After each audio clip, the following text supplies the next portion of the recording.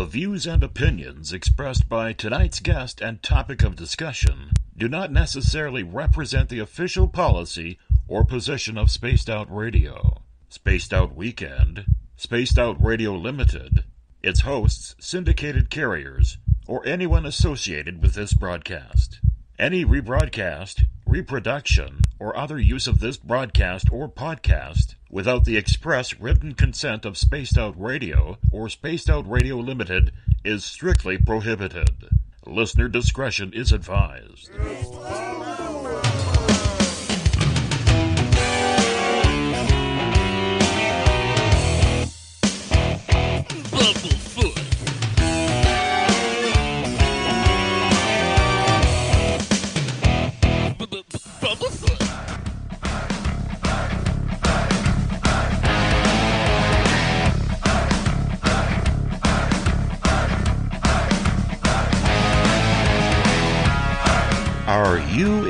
Experienced? Stop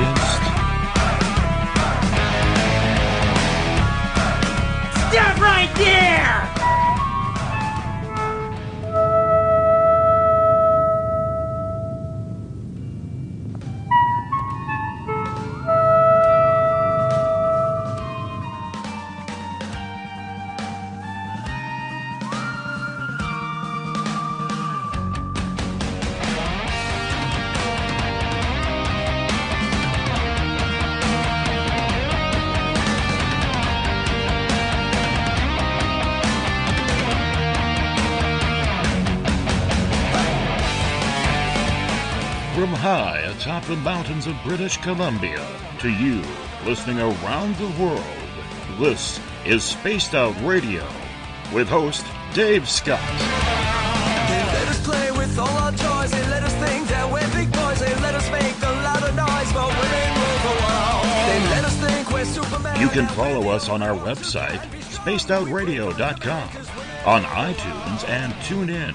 Follow Dave on Twitter at Spaced Out Radio, on Facebook at Spaced Out Radio Show, or on our YouTube channel, Spaced Out Radio Show.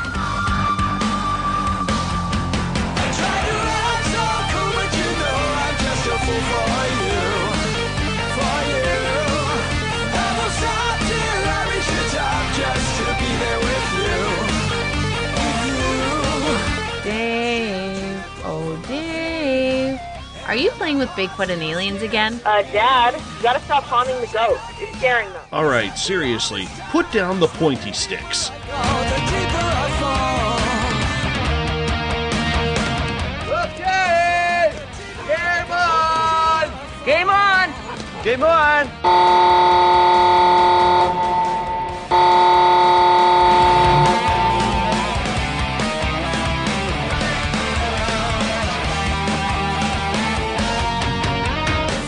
Password is Alright, alright, alright. Buckle up, space travelers. It's time to go for a ride on Spaced Out Radio. Mr. Bumblefoot, Dave is ready for liftoff. I try to act so cool, but you know I'm just a fool for you. For you. Seriously, Dave? Really? Aren't you a little old for a tinfoil hat? Hello. Toby. Bye-bye. Love you. Bye-bye. Yeah, just please take your seat about way. We're with the edge. It's time for pickup.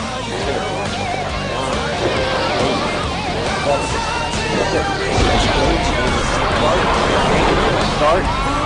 Two, one, boost ignition, and liftoff.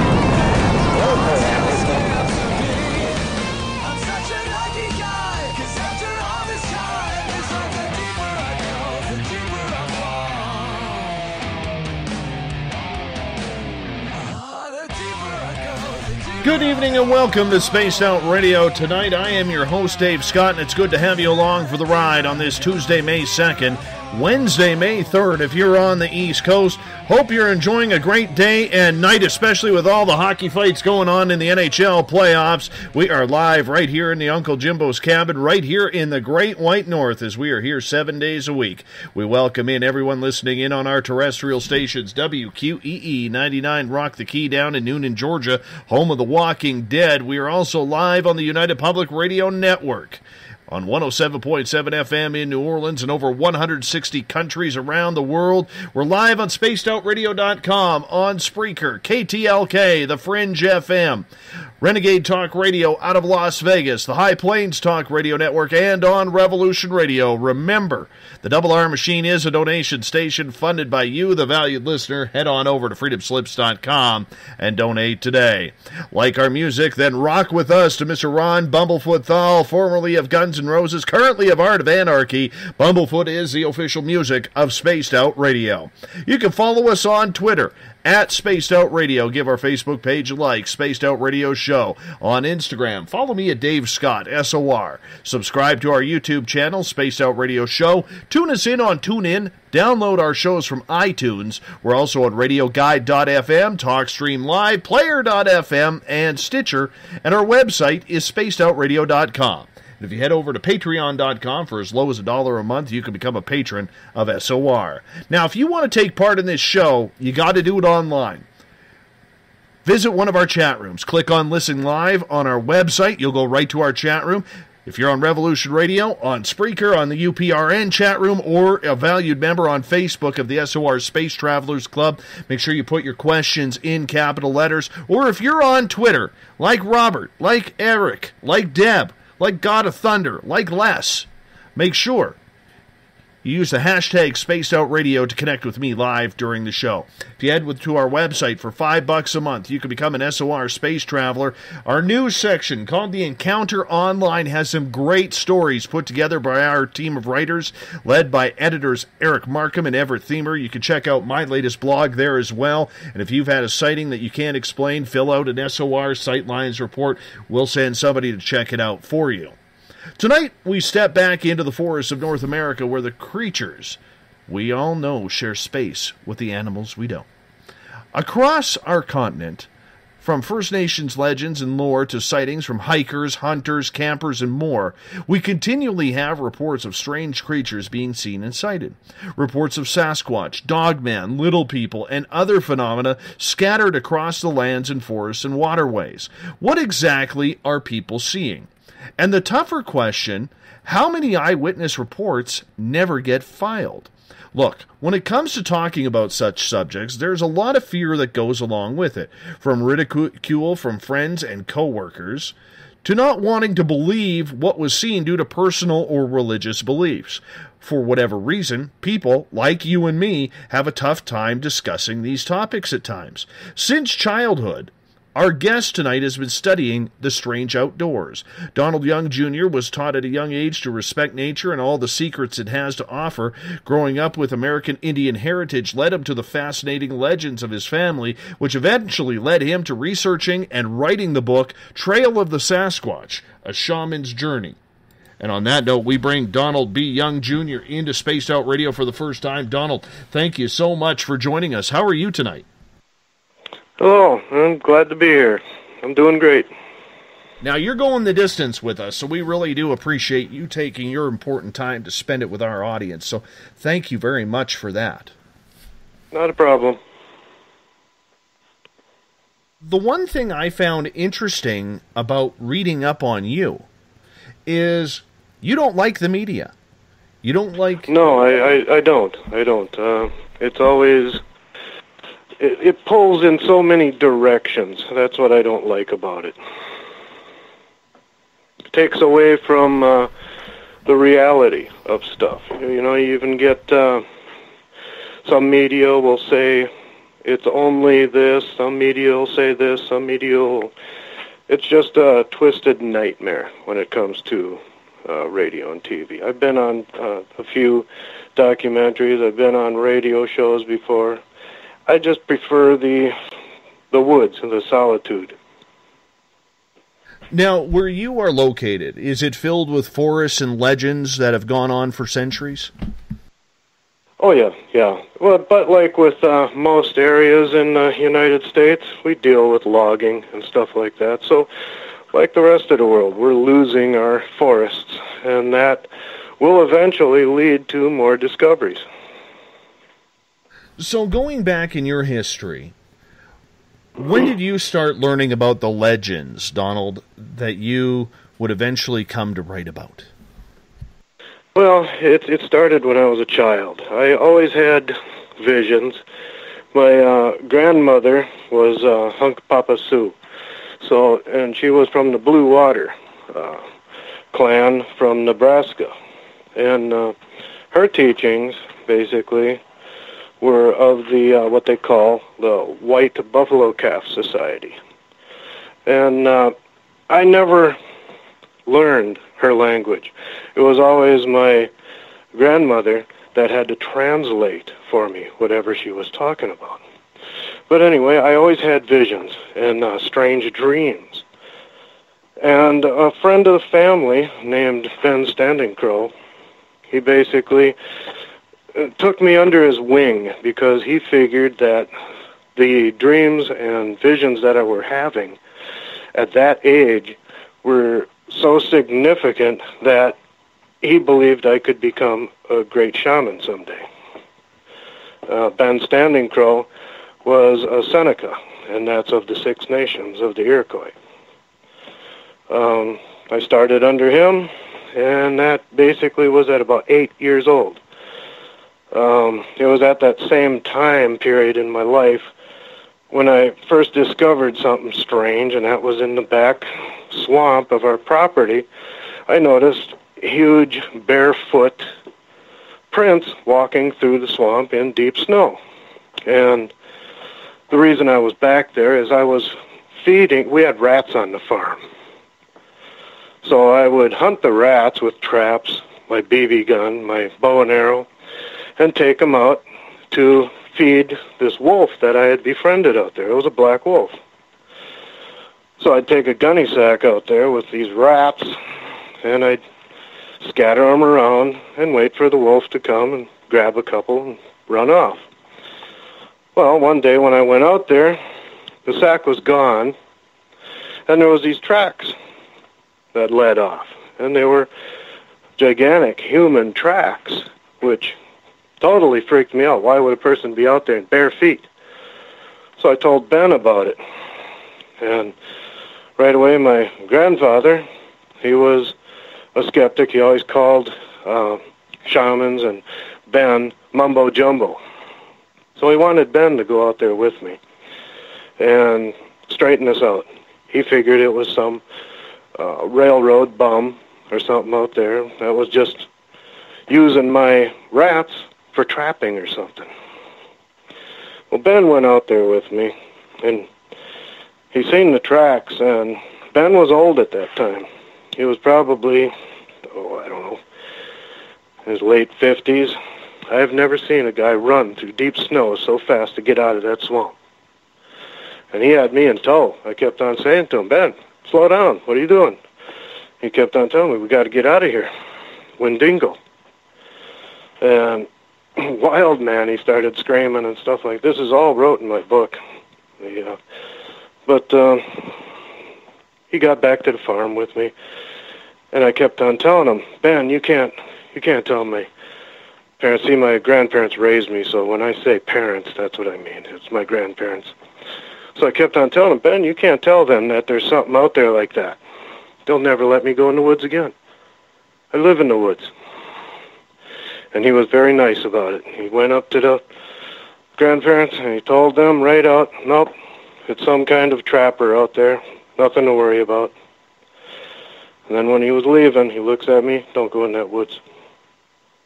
Wow. But I was never a person to uh, follow instructions. You know, I, I have personally had experience with two Bigfoot within a hundred feet of me, and this happened uh, about four years ago now. Man, time is flying by since that happened. It was September, around September 10th of 2013.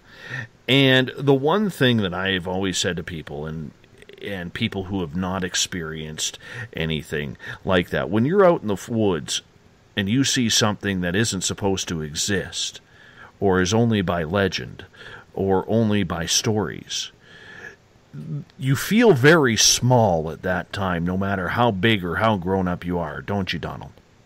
Extreme, extreme. And as a uh, investigator of cryptozoology, one of the main things that I look for when I investigate a witness is the fear factor. When a person that I interview says to me, Oh, I've seen it, but I wasn't worried, I wasn't scared, they're lying. That's immediately a lie. Anyone that sees something that is out of the normal, that is giant, that they've never seen before, they are going to be scared. I don't care how big you are, you could be the size of Arnold Schwarzenegger.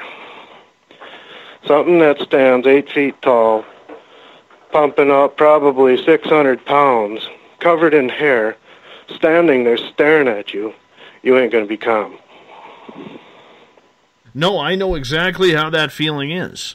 I know exactly what you're feeling when you say that because when you see something for the first time, Donald, whether you've been told the stories growing up as you have coming up in a First Nations culture, or you're just out in the wilderness on a hike, you know, spending some time trying to find that fishing hole, and you come across something that isn't supposed to exist, the emotions that go through you and the thoughts that go through your brain truly freeze you because you don't know how to react. How would you describe that to people when you're trying to explain like, like as you said, I'm going to take your words here, where you said, you know, people like, well, why didn't you go after it? Why didn't you take that photo? Why didn't you get closer to it? Explain those emotions. Your your mind basically when something like that happens. Yeah, I've I've seen them several times. When your mind, you, it's hard to explain, but I'm going to try. You do not focus on anything logical. Every amount of logic is out the window. You could have a camera around your neck. It's gone. You just forgot about it. When you're taking a picture, they always say, why are they so fuzzy? Well, you're shaking like a leaf. Unless you've got anti-shake on the camera, it ain't going to be a clear picture. It's, uh, oh, that's about the closest I can get to it. No, you're exactly right. And I remember when I saw the Bigfoot, I just stood there in awe because there was two of them when I had my experience. The first one was doing its peering, hiding behind a tree in the shadows. Okay, I've had one of them. And it was doing the peering, you know, in and out, in and out. We it was about a hundred feet away. We could make out the face, we could make out the right shoulder, and then as we started to turn around, that's when I saw this tree branch shaking at about 1.30 on the clock. So if this first guy is at midnight on the clock, 12 o'clock on the clock, this next one, I, I saw this branch shaking at about 1, 1.30. And I stopped because I thought that was kind of weird. And that's where I saw the second one walk right through where that tree branch was shaking. And I got a full right side and back profile of this as it walked through where that tree branch shook. And I'll tell you, from about 85 feet away, man, that thing was huge. It was like a big, hairy version of Andre the Giant wa- walking through. But the one thing that captivated about me, and even closing my eyes, telling you this story right now, Don, and our audience's story, was the fact that it had no neck. It just went shoulders to head. It was yep. absolutely amazing. Amazing. That is the, the, the sheer muscle that's in its upper body across its uh, shoulders connecting to the neck muscles pretty much eliminate any kind of neck. It's it's there. It's just under so much muscle and fur, you can't see it. Absolutely. Absolutely. So we bring you on the show tonight to discuss everything that is strange in the outdoors, and I love that that title that you like to use. I really do. When you were a kid growing up, you mentioned a moment ago that you absolutely loved going out in the woods. And even though there was a Wendigo sighting and you were told not to go back in, you really didn't obey those type of orders that you were given for your own safety. What was it, Don, about the woods that just captivated you and still does to this day, even though you know that you're looking for something much bigger and much more powerful than you are? Oh, it's it's it's a it's a gauntlet of things out there. It's the collecting of herbs for my medicine. It's uh, it's basically wildlife. Since I was a, a young child, I always dragged home wildlife. Orphan, I had uh, two bears, bear cubs that I raised to adults when I was little. Later on, I had a couple more bears that I raised from. They were orphans. I brought them home. I that first, you know, the, even the black wolf, that followed me home. Um, I've had deer. I've had fox, coyote. I, it's always the, it, the the outdoors are just. I prefer it. There's no backstabbing out in the woods. There's no, uh, if you don't mind my word, there's no bullshit out in the woods. It, it's it's reality at its purest. That is probably one of the best ways I've ever heard it described reality at its purest. And with everything that goes on in the forest, we all know about the natural critters that are out there some big, some small, some that can rip you apart. You know, I think in my area where I am in central British Columbia, just around here, I'm looking into my backyard 30 minutes before showtime. I've got deer out there. You know, we have black bear, we've got grizzly bear, there's feral hogs, there's wild horses, there's moose, there's deer, there's elk, badgers. I'm glad I haven't ran into one of those yet. Never mind the foxes and the wolf packs that run around, and of course, we have the cougars. Yeah, That, uh, those that- are those are bad. Those are bad. yeah, I mean, they're just angry that they're breathing. I'm, you know, honestly, they're just angry at life. You know, but there's a lot of things that can hurt you. But uh, there's also a lot of mystery and intrigue that goes along, Don, with with being a part and being one with the forest. Definitely. Why did you decide to listen to all those stories growing up and believe that they were accurate? Because there's so many First Nations legends out there that Well, at first, I, at first I didn't. I even my friend Mitch, when I told him about it, you know, he he was enthusiastic as hell about it. He kept on saying, "Oh, it's Bigfoot."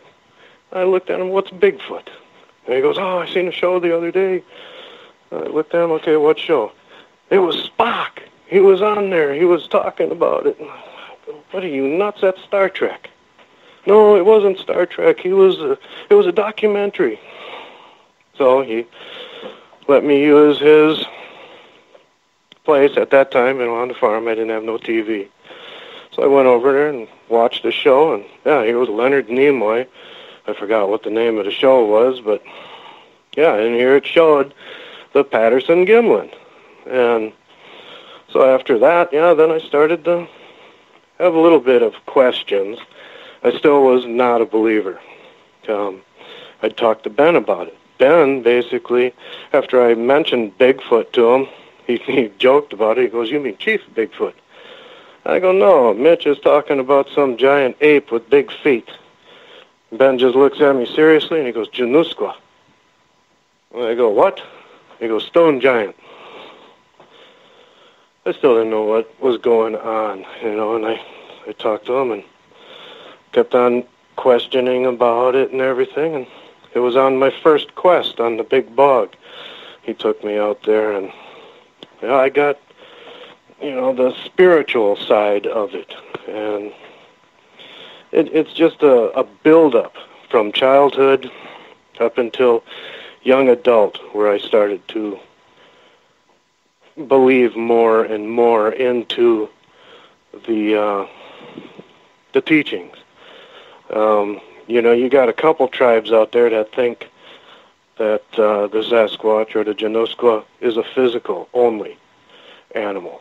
but the majority of the Native American tribes out there believe the physical and spiritual have a key role in the Sasquatch. And I So want to, that's, and I want to where get, I fall. And I want to get into that with you a little bit later because one of my pet peeves with Sasquatch researchers is the fact that they they tend to take the First Nation legend, and I and I hope you know. I hope you don't find it offensive when I say First Nation because up here we call No, them. No. Okay, thank you. I just want to clarify because up here in Canada, that's what you know we define First Nations as. We don't call Yeah, them yeah, Indians that- anymore. So That's totally, totally all right. okay, First thank- Nation, uh, it's uh, Native people. You know, any anything like that. It, even Native American doesn't really doesn't really matter. The only bad one is Indian Yes, this because is that true. was uh, that was a Columbus name they gave to him for trying to find India. Yes. Thank you for the history lesson.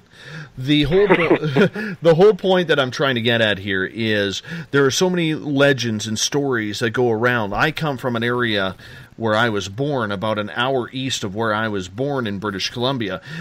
First Nations came up with the name Sasquatch by the Harrison Hot Springs area and the Chehalis First Nation.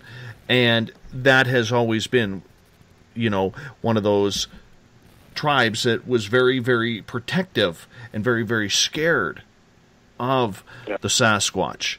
You know, they believed it was a shapeshifter. They believed that it had some uh-huh. sort of supernatural power. But there's a lot of researchers out there, Don, who do not believe that we are dealing with anything of supernatural ability. Well, you see, and then I've got my thing. You know, I go with the shape shifting and other spiritual because I have witnessed this. And basically, the reason I go with this, if it was a totally physical only animal, we would have found one by now. Everyone that's out there, from Dyer to whoever, that says they shot one, when they go back for the body, it's gone. If they shoot one, there ain't no blood. People that have tracked them in deep snow going up a mountain, the tracks just stop. This is where the physical turns spiritual or goes into the spirit world. a lot of people try to explain the whole footsteps that just end in the snow, and I have heard of that here in British Columbia as well. What a lot of people will say is, well, Sasquatch has learned to backtrack in its own tracks in order to get out. But my opinion on that would be, would there not be two sets of toe prints? Uh huh. and Right. also to an expert tracker, you know, I'm, a, I'm I don't consider myself an expert, but I'm pretty good at it. A person that is, or an animal that is backing up, backtracking, is not heavy on the heel. You can tell that they are heavy on the toes and pads. If you're backing up, if you're walking forward, you're heavy on the heel. Person looking at those tracks that knows what they're doing will be able to differentiate. one of the issues that I have is we have a lot of brilliant people who are researching this. And like I just said moments ago, and I'm going to form it in a different way, they believe it could be a great ape that survived when we were all one continent here on the planet before they separated. They believe it could be Gigantopithecus or something along those lines, maybe even going as far as the missing link to mankind. Now, they don't buy into the whole spirituality or the supernatural ability of the creature. You mentioned that you have eyewitnessed it. But when you look at mainstream science trying to determine whether or not this creature is real, what is your opinion in regards to the way mainstream science is researching? Because all of their technological advances really are not solving the mystery. No, no, and it, it, it won't unless they look into it in a completely uh, different aspect. One of the one of the aspects that I have, and I've I wrote an article, just a, a small post about the the way a shapeshifter would use uh, cell bodies, mutations, and stuff like that. And if you if you'd like, I could read it. I- I would love it if you did. Okay, all right. And uh, it, it's basically on a lot of the training as a shaman that I've gone through. All right, I'll, because there's no way I'd be able to just tell you about it. I have to. I got to re reread what I wrote. Okay, here goes. A shaman knows that the body contains trillions of symbiont organisms, cells, bacteria, or energies that both help and harm, rebuild, and destroy the host body. A shaman digs deep into the mind and body, feeling the ailment, then communicates with the symbiont organisms to ask for help. Good and bad spirits also enter the body and affect these organisms or energy, causing change and mutations that harm or sicken the host body. Certain herbs, whether eaten, drank, as tea, or smoked, affect the body and symbiont organisms, provoking action of defense from spirit attack or illness from bad elements. Shamans from different civilizations knew the body had these symbiont organisms, cells, and bacteria long before modern medical techniques found and documented them. Aztecs, Native Americans, Asians, and Egyptians knew the body was a host for many organisms that both built or both build, destroy, help, or harm, and the body or the organism could not exist without each other. In a sense, this is the connection all life has, a kindred relation, as man with animals, plant, earth, air, water, and fire. So also do we have a connection to the spirit world as energy. Some just know how to harness the power, speak, or listen. Like the bad organisms or spirits that destroy or mutate the host, so do some shamans mutate the cells or energy, and this transformation is known as shapeshifting. This is not impossible, as many think, and is common worldwide. We all see it in the animal world every day with plants, insects, reptiles, some fish, and amphibians. Whether it is a chemical, physical, or mental control of or with bodies, symbionts maintaining our body, it is possible to control sickness, appearance, mood, organ function, or health. So why wouldn't a forest-dwelling bipedal have the same ability to shapeshift using energy or physical ailments of the mind, body, and symbionts? There, that was that. No, I appreciate you sharing that with us. Thank you so much for for doing that. Do you believe then that mainstream science is dropping the ball by not investigating the legends and the stories that First Nations people have been telling for years? Yes, yes, they are. Basically, as of late, they have been starting to listen.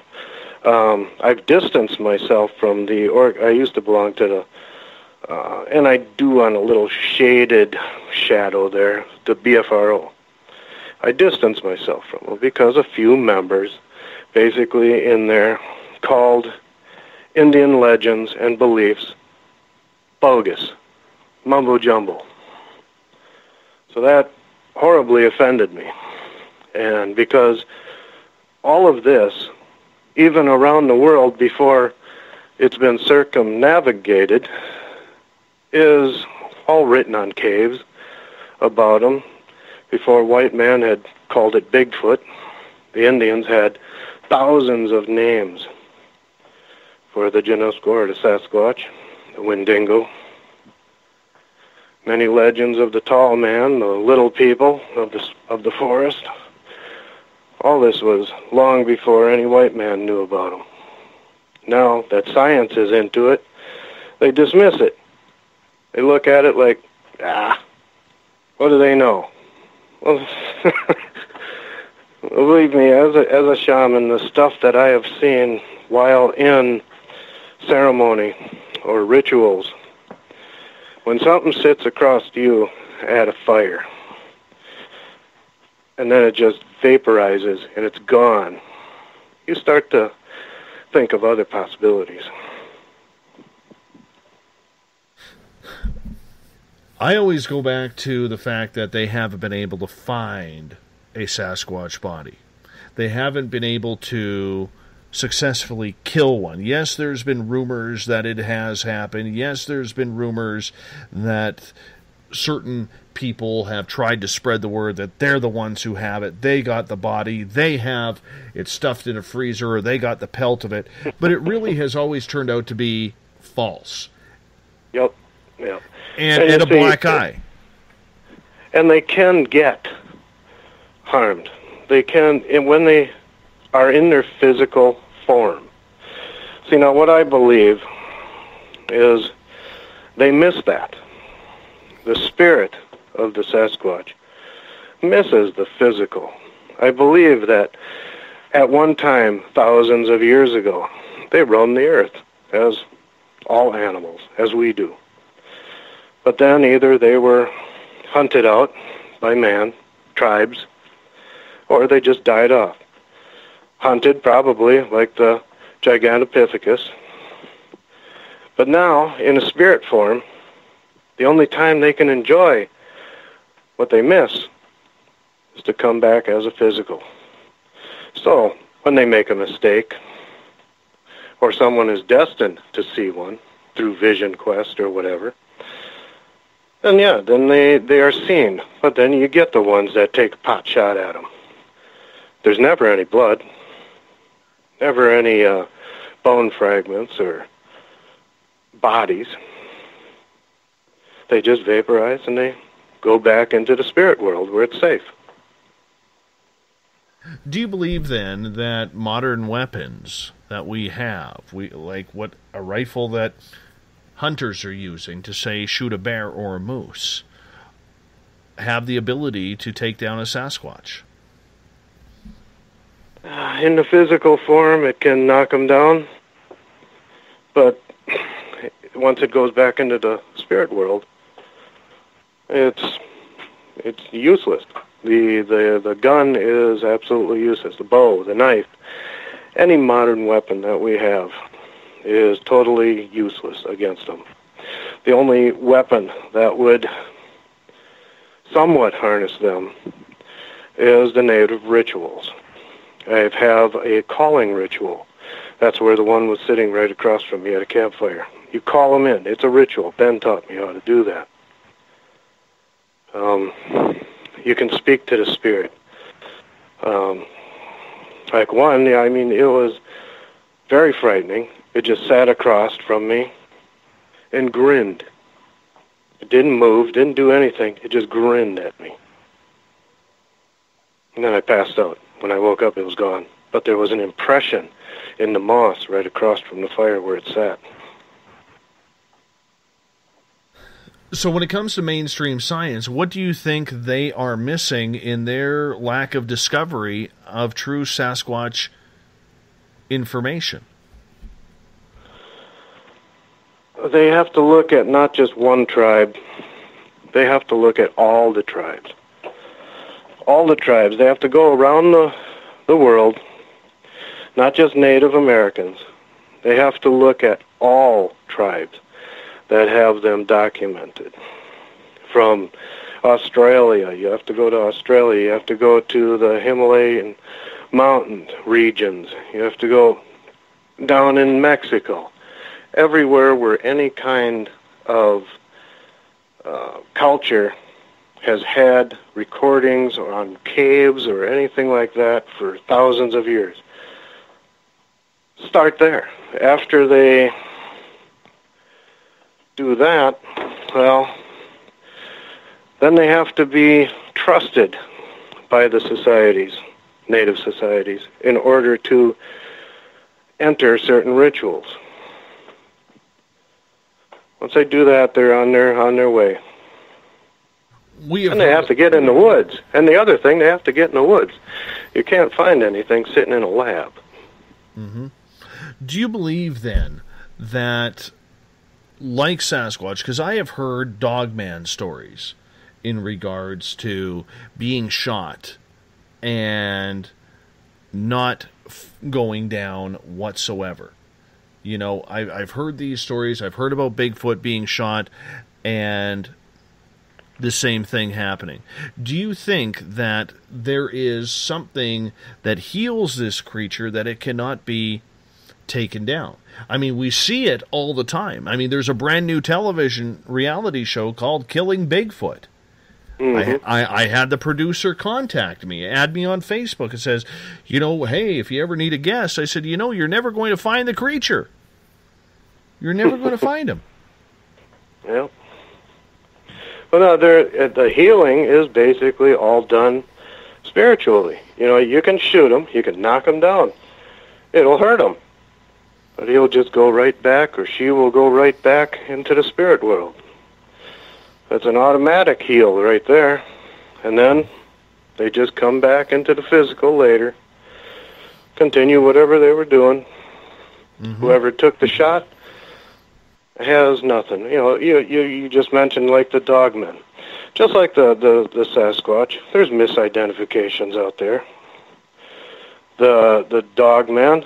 There's no doubt that something like that exists, just with the the Sasquatch. Um, you look at the uh, misidentification. Some people say it was this. It could have been a bear. It could have been a wolf. But then there is the there's there's two kinds of the the Sasquatch. There is the one that could be the Wendigo. The Wendigo could be the Dogman. You know, the the Dogman and Sasquatch could be on different levels. Uh, one is evil. One is calm. One is the protector of the woods and everyone or everything. The other feeds on your fear. Earlier in the show, you mentioned the stone giant. What did you mean by that term? That was a relatively new term for many of us around here. Uh, the Genoskwa in the Seneca or the Iroquois Six Nations. That is the title they give Sasquatch, is the Genoskwa, the stone giant. Stone giant means that basically, one, lives in a cave. Two, when you see it, it doesn't move. Stone. Just stands there. That's why you, you can walk right past it in the woods. The stone giant. Well, there is a reason why they call it the reigning hide and seek champion. Yep.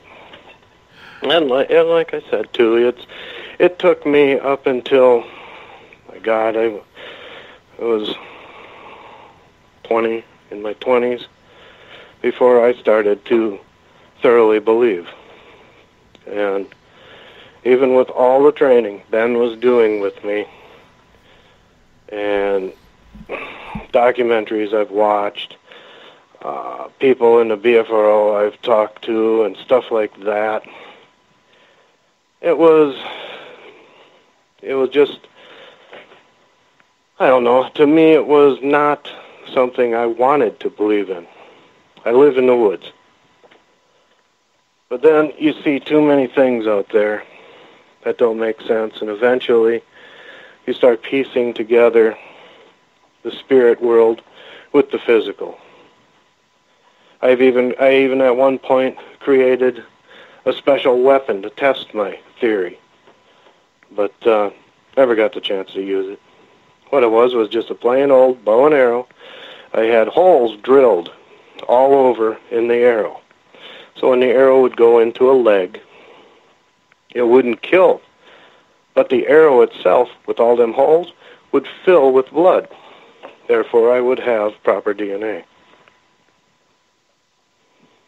And then, of course, that. Oh, go ahead. Did you get any DNA? Yeah, no. But later in, in time, in 2015, well, out on the Great Bog, I had come across a coyote den. I was following a pack of wolves through the area, and I come across a coyote den out there. And peeking down into there, into the den, I noticed a pretty large stick blocking one corner of the hole. I reached down in there, tugged on it, it wouldn't come out. Started crawling down in there, digging at it just so I could get down into the den, pulled it out. There it's a giant femur bone. So, when the, you know when the hair on the back of your neck stands up, uh, that's what happened to me out there when I found that. I immediately felt like something was watching me. That this shouldn't be. I got out of there. Well, came back a couple days later, picked it up, took off with it, got out of there, came back again, started digging around. I found teeth. Well, I sent all this to a university. To this day, they still have not gotten back to me. I wanted them to do DNA tests. So right now, I've got someone else out there checking into the university for me, find out what's what's going on. I believe what it is. They have found something. They know I'm going to ask for my items back. But what what I told this guy to tell him, I don't care if you guys keep it. Keep it on display. Keep it for research. I just want the credit for finding it. But you- anyway, that's Do you believe that the Sasquatch is a multitude of species that has different personas in different parts of North America? For instance, the creature up here in Cascadia in the in the Pacific Northwest tends to be a little bit more benevolent, a little bit more shy, a little bit more not wanting to be around people, will try to escape. Whereas we hear stories from the south that the swamp monsters there are a little bit more aggressive and and more willing to attack. Do you believe that there are different species of this creature? Well, if it is going into a physical uh, being, then yes. You've got uh, the farther north you go, you're going to have the bulkier ones. They're going to be more laid back, calm, because they have to conserve energy. Now you go down into the southern region over by the skunk ape of Florida. They're going to be smaller, they're going to be leaner, and yeah, they're going to be a little bit more moody. They've got other things to deal with. They've got gators in the water. They've got bugs year round. They've got diseases from the water and other things. They've got people everywhere. You get farther up north where there's fewer people, they're a little bit more calm. I don't know if that's a good explanation, but Do you feel then that along the lines of the legend that Sasquatch finds you, you don't find it? Pretty much. Pretty much. Yep. You are if you're if you see one, it was meant to be. Uh, there's been other instances where a child is lost or someone's lost out there. They'll get the Sasquatch or Genoskwa will leave little telltale signs, even mock other animals. So you start to follow and you'll he'll lead you right to a road. Um, yeah, you, you're meant. If you're if you see one, it was meant to be. Uh, there's other legends with the Native Americans that basically say if you weren't meant to see one and you just happened along one, bad things will happen. You'll either get sick, uh, bad luck, you'll die, I've had that happen to two people. Two very close friends of mine and researchers that it happened to. How did they pass away? Well, they were both both young. Well, one was a female; she was about 30 years old. The other was a, a guy; he was about uh, 45. Uh, we were up in the Michigan area doing an expedition, and uh, we were all on the road. Just it was night. We were using thermals, and the woman at first seen it down the road. We were walking. I turned around and I looked down the road too, and she goes, "It's it's it's a ball." I go, "Well, I'm looking through the thermal too. I go, "Yeah, what, what is that?" It's like a severe uh, coming down the road, and then she yells out, "No, it's got arms." And I'm looking, I still can't make anything out. And yeah, okay, yeah, now I see it. It's uh, then we get on the radio. We call them guys to get down there quick. First one is the guy. He gets there. He grabs one of the thermals. He looks down there, and yeah, here they are. See, the other thing we can pick up about the thermals are all the rodents on the road. There's rodents running everywhere. Well, here you got this gigantic one. We have no idea of size, but it's well over six feet. He's just standing there like he's guarding.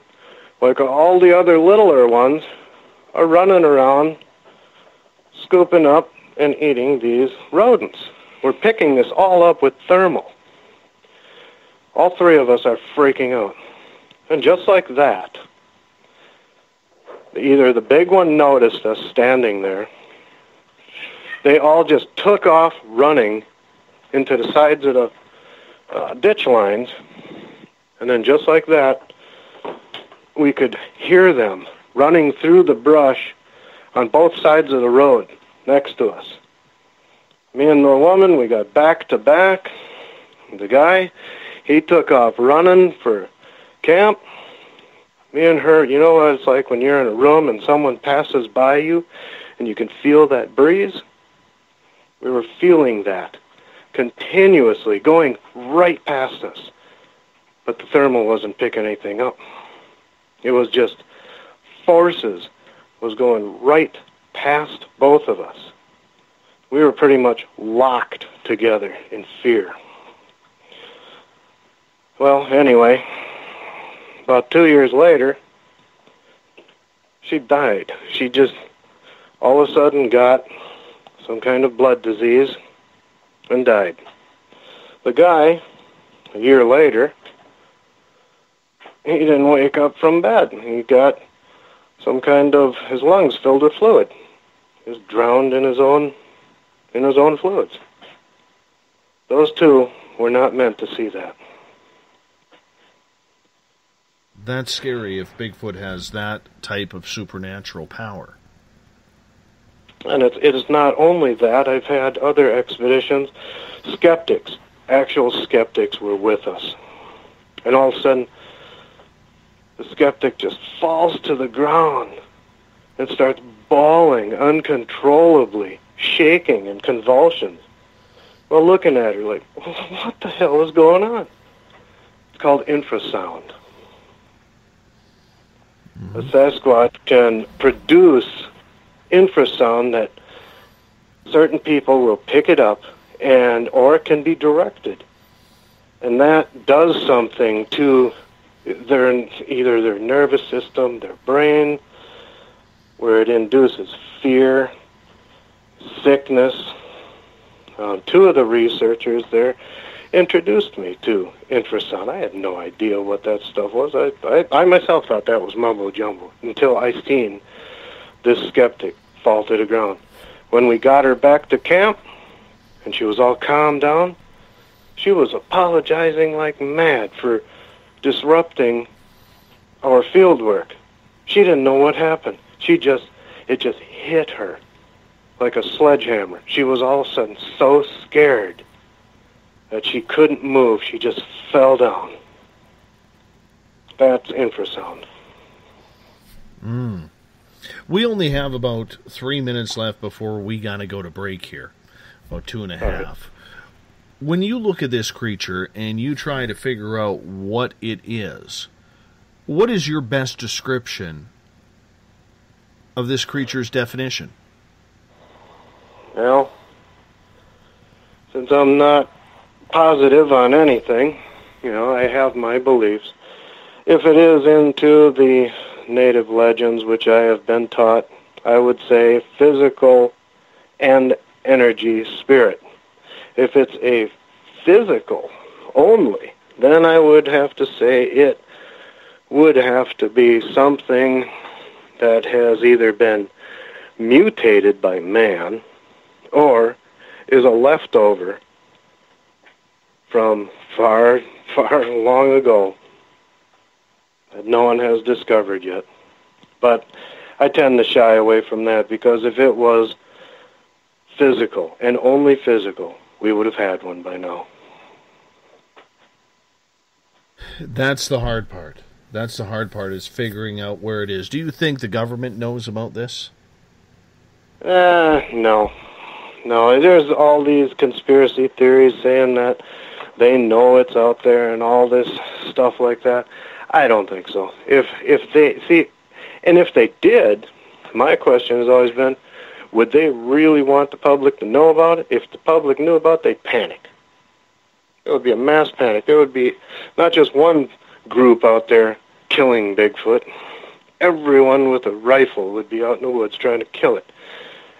Anything that people don't know about, they fear. If they fear it, they want to kill it. That is so true, isn't it? it? It's really sad desire of our society that we would want to take out a creature like this because, in the end, we don't know how many there are out there. We could be dealing with a hundred, we could be dealing with a thousand, or possibly more. North America yep. is a pretty big place, and we really don't know where these populations are or how many are in a family. Are they wanderers? Are they nomads, vagabonds? We really don't know much about them, and we will get to more with Donald B. Young Jr. coming up after our break here at the top of the hour. While we're on a break, make sure you check out spacedoutradio.com. Make sure you're hooking up with us on all the social media as well because I want to see you added. So we'll be right back. More Sasquatch talk, more cryptid talk right after this.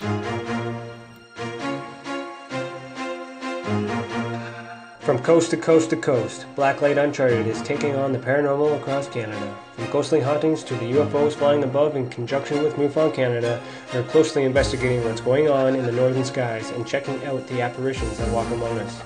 Check out our videos right here at spacedoutradio.com. We want to know your thoughts, we want to hear your experiences, and we want you to share your stories. The answers are out there, and we intend to find them. Would you like to become one of our space travelers?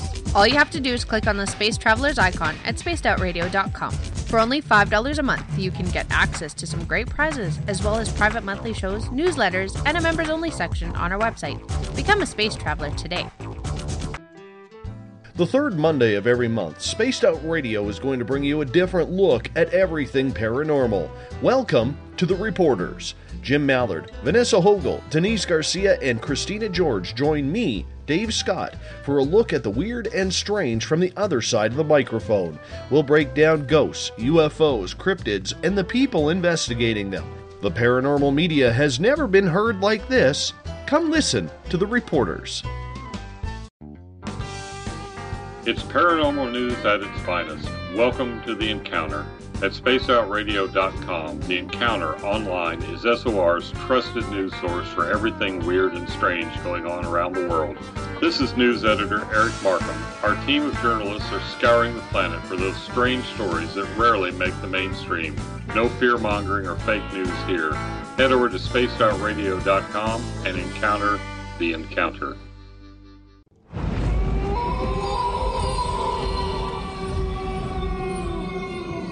Hey, this is Canadian paranormal investigator Mike Moore. The third Wednesday of every month, I'll be teaming up with Dave Scott to bring you Ghosts of the Great White North. Each month, we will bring on guests from across Canada to discuss their ghostly encounters. Canada is a paranormal hotbed with stories you've never heard, so we're going to bring them to you.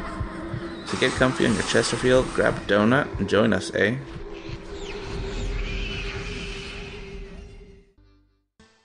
Have you had an experience you can't explain?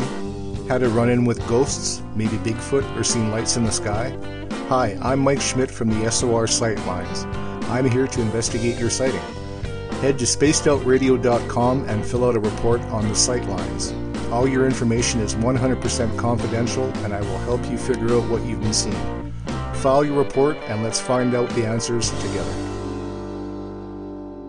Visit purpleplates.com today. For over 40 years, the Purple Energy Plates have been delivering amazing results for their many customers. Inspired by the great genius Nikola Tesla, the harmony, healing, and energetic effects of the plates have proven over and over to be beneficial and often miraculous to thousands of customers. With their money back guarantee and the many benefits, how can you afford not to get one? Check their site for daily specials and choose from their many energy products. You won't be sorry. Visit them today at purpleplates.com for mind, body, and spirit, and expect a miracle. Are you interested in advertising on Spaced Out Radio? Head to our website at spacedoutradio.com and click on our advertising tab. There, you will find an assortment of ways you can get your product out there with us, from radio commercials to banners and social media. Have a product you like our hosts to endorse? We can do that too. Visit spacedoutradio.com for more details. Have you got your Cosmic Passport? If you need one, tune in to Cosmic Passport on Spaced Out Weekend. This is Elizabeth Anglin, ET Experiencer, spirit medium, and host of Cosmic Passport. Each weekend, I'll be bringing you interviews and support from other paranormal experiencers and the best in intuitive spiritual guidance from across the globe. It's all happening starting at 9 p.m. Pacific Time, midnight Eastern, on spacedoutradio.com. From British Columbia to Northern California, Pacific North Weird has Cascadia covered. Check out our feature videos at spacedoutradio.com, where I, Vincent Zunza, and my super sleuth partner Alexandra Sullivan track down the weird and strange stories from around the Pacific Northwest, from Bigfoot to Mel's Hole and everything in between. This is what makes life exciting.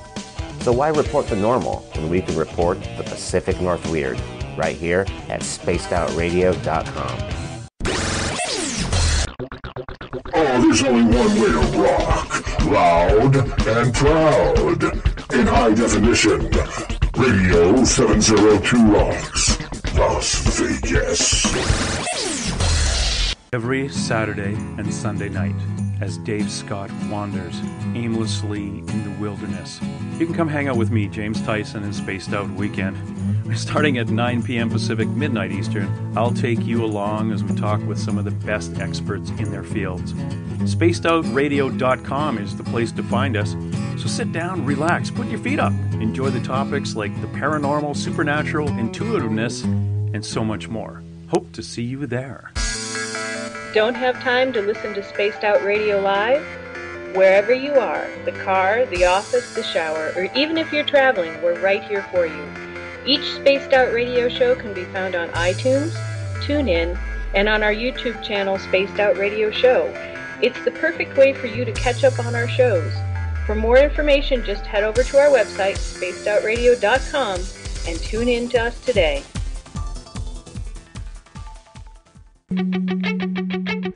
Views and opinions expressed by tonight's guest and topic of discussion do not necessarily represent the official policy or position of Spaced Out Radio, Spaced Out Weekend, Spaced Out Radio Limited, its hosts, syndicated carriers, or anyone associated with this broadcast. Would you like to connect with us? Head to spacedoutradio.com for all your latest show info.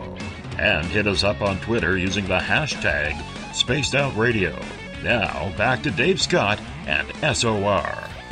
Welcome back to the second hour of Space Out Radio tonight. I am your host, Dave Scott. Good to have you with us. Tomorrow night on the program, Albert Jack is going to join us. We're going to talk about the Glenn Miller conspiracy going back way to World War II. We get going at 9 p.m. Pacific, midnight Eastern Time at spacedoutradio.com. We want to welcome in our terrestrial stations WQEE 99 Rock the Key down in Newnan, Georgia, home of The Walking Dead. We're also live in New Orleans on the United Public Radio Network on 107.7 FM. Good to have you with us. We're live on KTLK, The Fringe FM, in Las Vegas on Renegade Talk Radio. And if you're listening in on Revolution Radio, remember the Double R Machine is a donation station financed by you the valued listener, head on over to freedomslips.com and donate today. Bill Cardwell has set the password for tonight in the SOR Space Travelers Club anti disestablishmentarianism. I butchered that. Anti dis. Uh, Bill, you did it to me again, damn it. Anti disestablishmentarianism. There we go.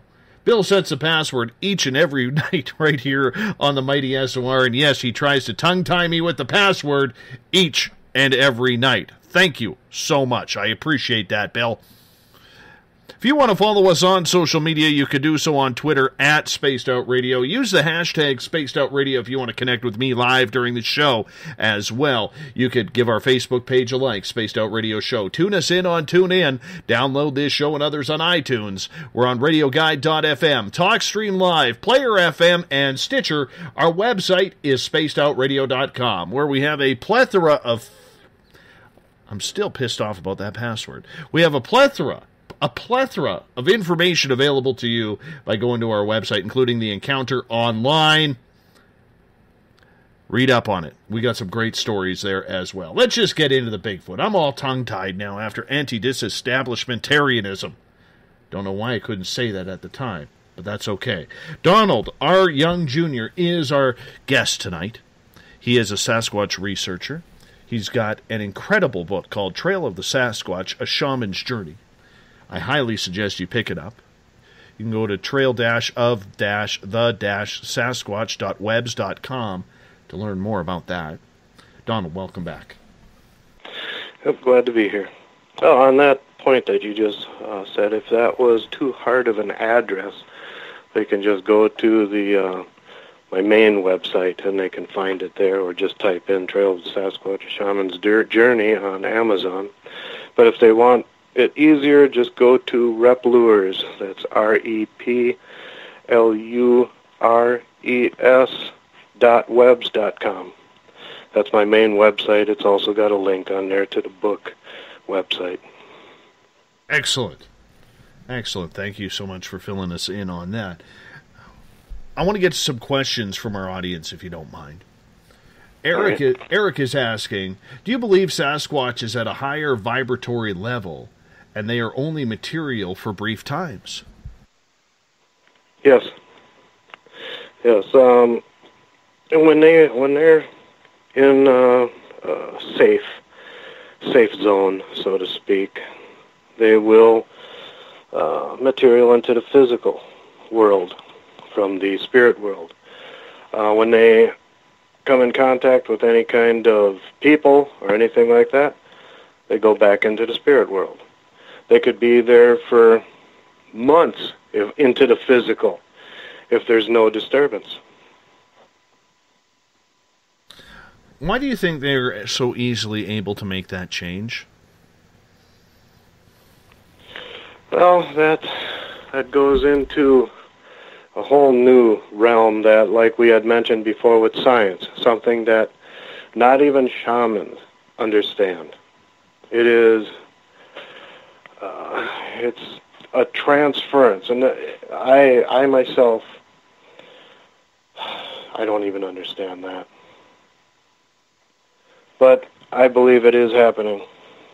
Um, as far as understanding how they can transfer from the spirit world into physical world, that would be more or less on a, a ghostly almost aspect. Trip has a question here. He is saying, What is your thoughts on the skunk ape having four toes instead of five? Well,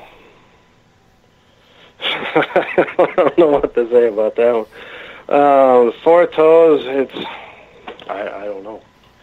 Am that confounds me as well. Um, four toe basically has a lot of times been mistaken for a bear.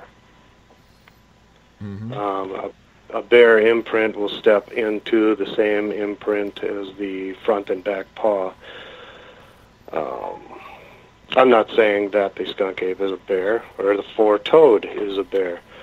Um, it just could be either a mutation because, like I mentioned before, cell mutation. Um, I, I have no idea. I, with my experience, my experience is right here in the Wisconsin, Michigan area. Mm-hmm. I have no idea what's going on down into the Florida area. All right, let's get to another couple questions from Eric here. He is asking, do you think that maybe down south that inbreeding in the creatures is more prevalent due to the encroachment of their habitat by development? If physical, um, I don't think so. Most animals will have a uh, protective knowledge. Any any animal will know automatically not to uh, do that. You, you know, you've got the great apes and stuff like that that will jump around from the females, even though they are sisters and uh, mothers and stuff like that. But the female will usually shun them and push them away. So there, I, I, I don't think there's too much interbreeding with them. I don't think there's very much breeding at all if they're uh, physical. I would say that their lifespan is similar to that of a human. Um, they want to keep their populations down. It's different that you know if it was long ago when there wasn't very many uh, humans around. Now they have to keep their numbers down. Pods small. Otherwise, you know, they they they have the probably the same fear. If you have too many, you're going to make too much of an impact on the uh, environment, where people are going to notice these huge areas. You know, you look at compounds that people uh, have out there, or expeditions, stuff like that. You have 20 people out there. Look at the impact that that does. The grass and trees are all marked, and there's scat everywhere. There's uh, grass knocked down where tents were or beds were and stuff like that. So, yeah, you got a couple, no impact. Bunch of them, big impact. So I don't, I don't think they're uh, interbreeding or anything like that. I think that's uh, no.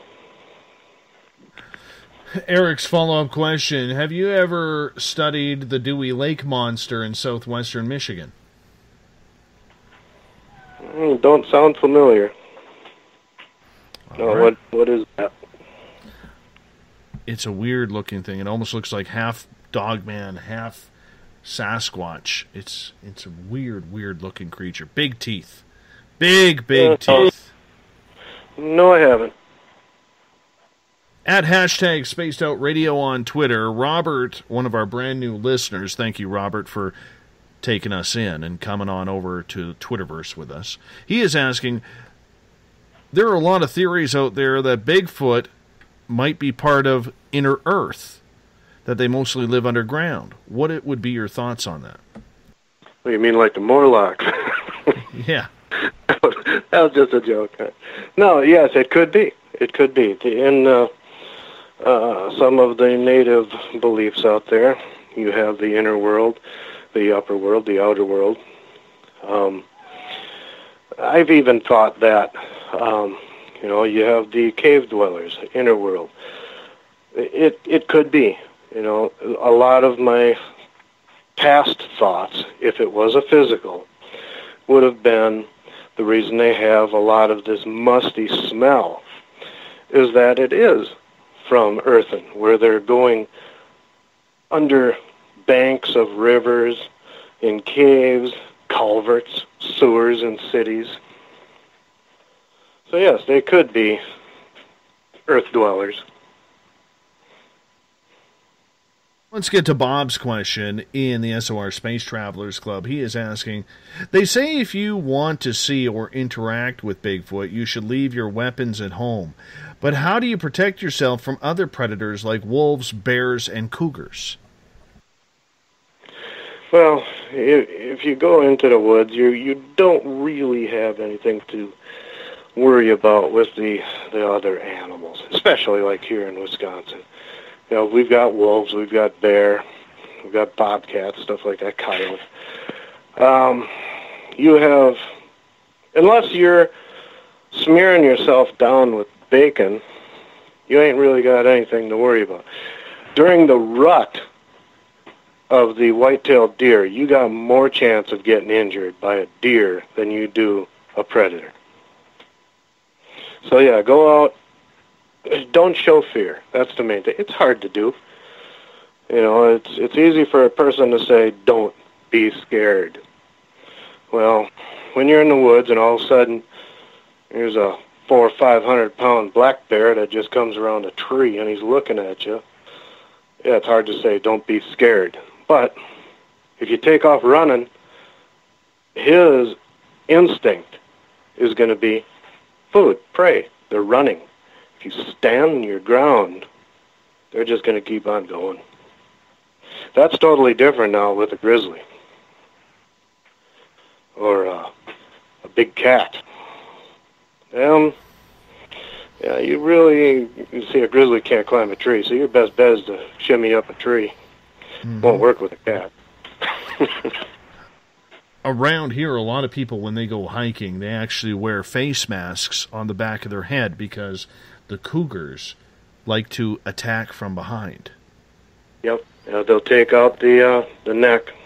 hmm They go after the spine. But I, what I basically during expeditions, I have told people. A lot of them I have seen carrying mace. I've told them that is about the most useless item you could possibly have with you. You're out there at night. You're scared. Something comes running out of the brush. You're going to hose everyone down with that thing trying to hit it. Can't see it. Can't aim. Your best thing, if you ever been to a football game, these little can horns. If you ever had those, a little tiny can, it's an air horn, get one of those. You don't have to aim it. You just push the trigger and it goes off. That'll scare the hell out of anything. Well, that high pitched noise will freak me out, I can tell you that. I can tell you that. Ron from Saskatchewan, and we feel sorry for him because he hasn't seen a mountain in years, is asking Is the Wendigo Bigfoot? They talk about the Wendigo in Saskatchewan as well. The Wendigo in the Chippewa or Ojibwa is the cannibal or a wild cannibal man. Um, some some believe, some of the tribes believe that it could be the same as the Sasquatch. It could be the same as the Genoskwa and the uh, Iroquois. I myself believe it to be totally different. The Wendigo is said to be also the tall man. It's uh, it that now in most of the cultures that believe in the Wendigo, it is a spirit. That is not a physical. Um, the Wendigo basically is uh, from the spirit world. That that is with most of the uh, tribes that believe in it. Um, it is vicious. It's not like the uh, common beliefs of the Sasquatch, which is the calm defender of uh, and protector of the land. The Wendigo basically is a cannibal. Uh, it it is in the form of a man. It starts in the in the form of a man. That is where the main thing of the shapeshifter came from. Was the Wendigo. Let's get to another question here. This one comes from Bob as well. If Bigfoot is a spirit like creature, why does it eat flesh like deer or other animals when they are in form? It, it misses it.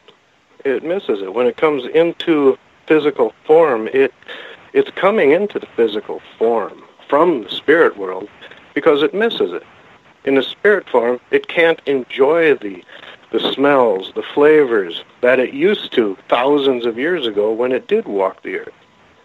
So yes, it it everything that it can do physically when in the physical form, it will. Whether it's eating and raiding someone's orchard, cornfield, following a deer, breaking its neck, and eating its heart, it will do it. It goes back into the spirit world. None of that is there. All right, let's get to Gail's question. Gail is asking Could a reason Sasquatch avoids humans be that it maybe carries germs or viruses that are harmful, and he's actually protecting us. Well, it's a very good one, and it could go the opposite way. If the Sasquatch is physical, it could go the other way. It may not be worried about us. It's worried about itself. Look at what Amer- or, uh, the white man has done to the Native Americans when it first came over here. There was the pox and stuff like that that was spread like fire. So yes, the, the Sasquatch instead would be thinking of that. It has seen diseases through generations. It's seen the first people or the Native Americans get sick. So yeah, he don't he don't want to take that back to his pod. Plus, he's been shot at. If it's like the Gigantopithecus, it's been hunted by the natives. This is an inherent fear. All right, let's get to another question here from Gail as well. Follow up. Do you feel that he has to have some sort of human protection activated for humans to safely see Sasquatch? If they are surprised, perhaps a protection is not active? I didn't understand that. You're gonna have Well, to, in in, in reg- that's in regards to when I asked you earlier, you know that Sasquatch allows you to see him. Oh, okay, okay. Yes, it's in the physical form. They have the same abilities as any other animal. Um, the majority of animals use stillness. You see a, a deer bedded down, they won't move. A wolf bedded down, they won't move. They're standing there, they won't move. Maybe they'll twitch an ear once in a while or flick a tail a little bit, but they ain't going to move. Sasquatch will do the same thing if in the physical. They will just basically stand there in the shadows, just watching. Um, in the spiritual, well, they just have to just vanish. They're standing in the shadows already. Now they become the shadow. Do you believe that Sasquatch are rummagers that will go through garbage bins? Very much so. If in the physical form again. Or when they come from the spirit world. Oh yeah, we we are the most wasteful species on the earth. Most people say that oh they can't live in the city. Oh bull. That is a gold mine. Stuff that people, even the homeless, won't eat. These guys, that I mean they they they have uh, at the gold mine coming into a city, a small town, a dump, anything like that. Yeah, they they will. And there's the other thing, the giant sewers of a big city. Now there's a nice heated cave. They come up into the cities at night, go into an alley behind a restaurant. The smell of the food draws them in, the grease and everything like that. They watch from the shadows. This guy comes out of a door. He lifts this big lid, drops a bag in there. Well, now they just learned how to open this huge box. Now they go up to it, they lift it, look in. Wow. There it is. It's not only got food that these humans are throwing in there, there's little rats in there for snacks. That's just me rambling. This comes from Junebug at Revolution Radio. One of their hosts on the radio show, named Douglas Dietrich, I'm not sure if you're familiar with him or not, but he's a pretty conspiratorial guy, believes that the skunk ape was part of a Sasquatch human hybrid program originating in Cuba. What do you think? It, like I said, uh, in the physical, it could be. You look at what the Russians had started a long time ago during World War II. They were experimenting with apes, trying to make a super warrior. You never can tell. Um, uh, the human is one of the most evil species out there. I've had reports of people literally having sex with chimpanzees and stuff like that. You see, bubbles.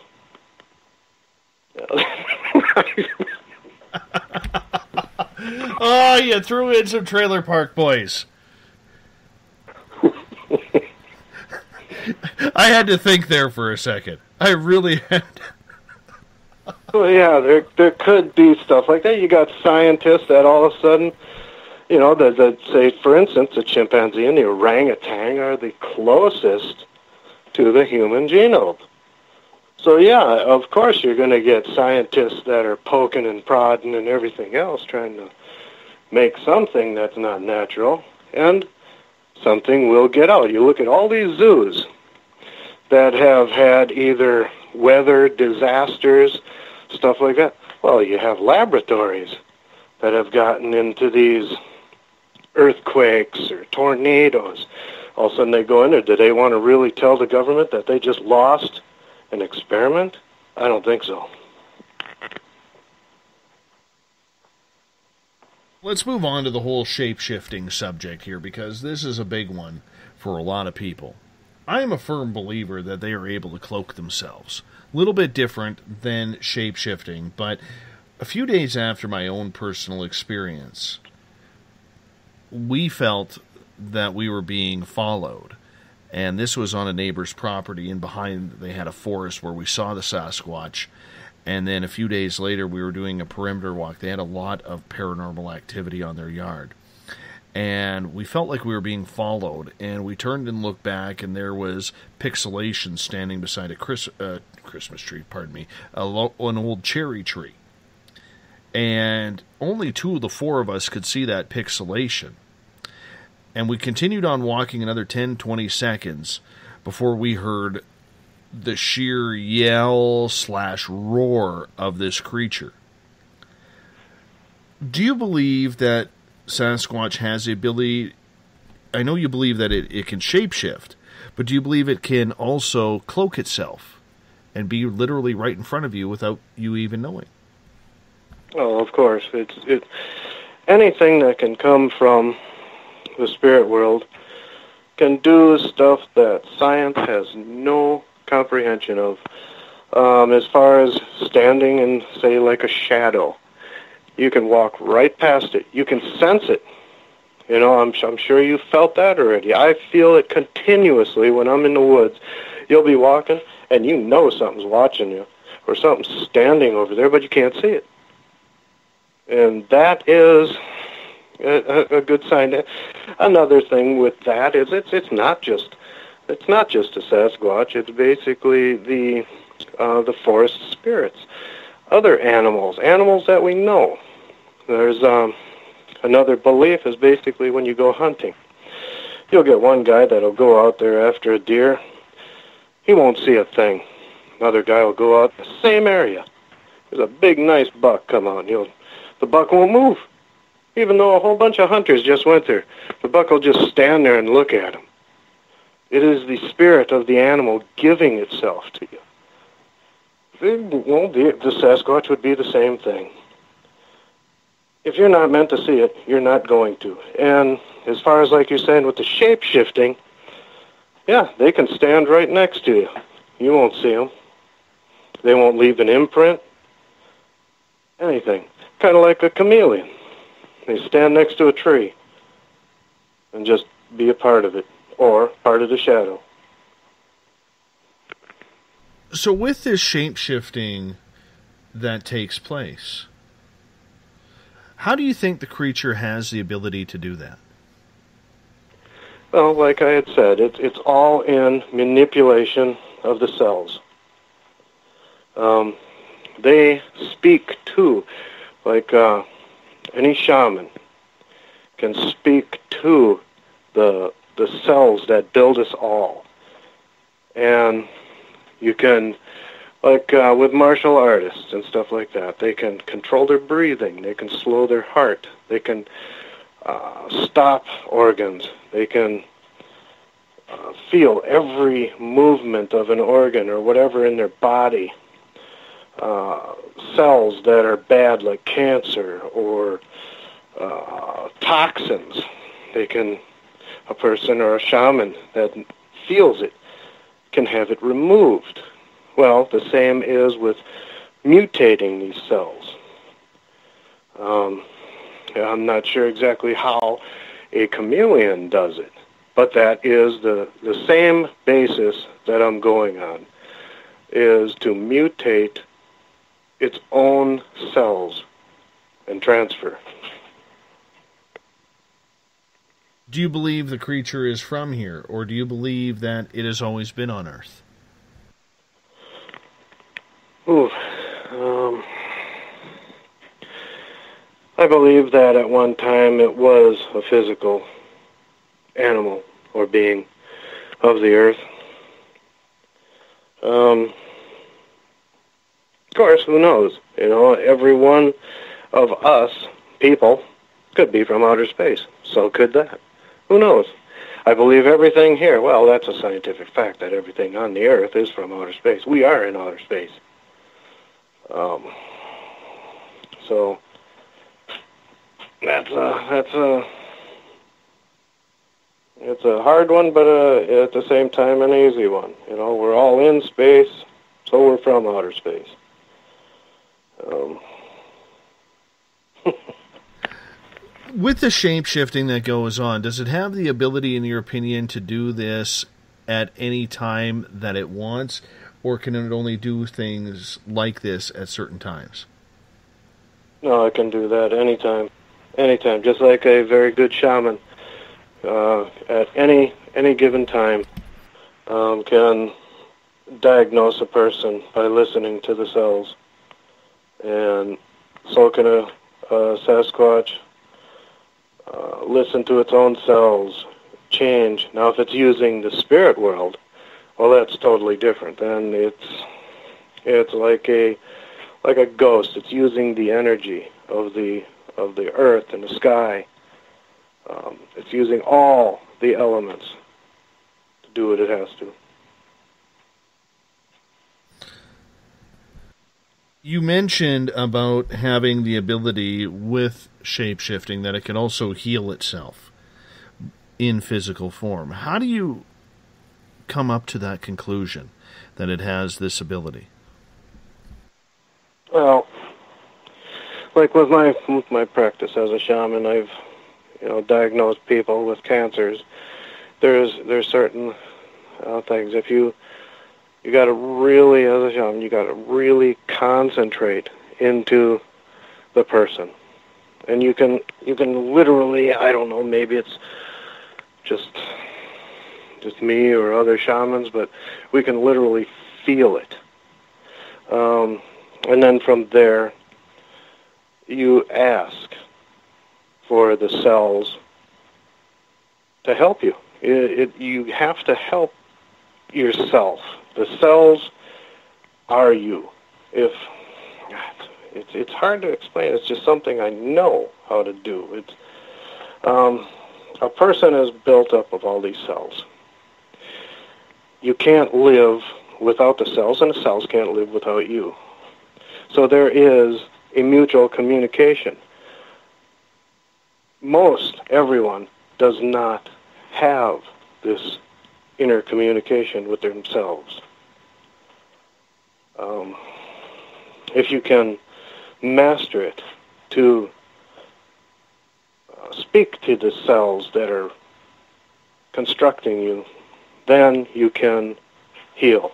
A Sasquatch would most a physical Sasquatch would most likely have that, and not only that, they would have the knowledge that every other animal out there has.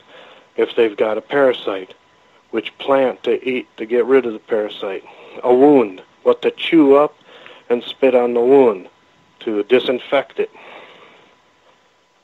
You know, it's just uh, well, it's it's hard to explain. Would that be from living in nature? Because nature has a plethora of cures out there for many different types of injuries, diseases, so on and so forth. I mean, there has to be a, a good reason why we've seen animals get hurt, but they're able to continue on you know, we've seen, you know, deer and moose that have absolutely huge scars on their backs from getting away from bears and cougars, and yet the marks heal. And we look at it when they're fresh and we think, you know, there's no way that that animal would be able to survive, yet it does.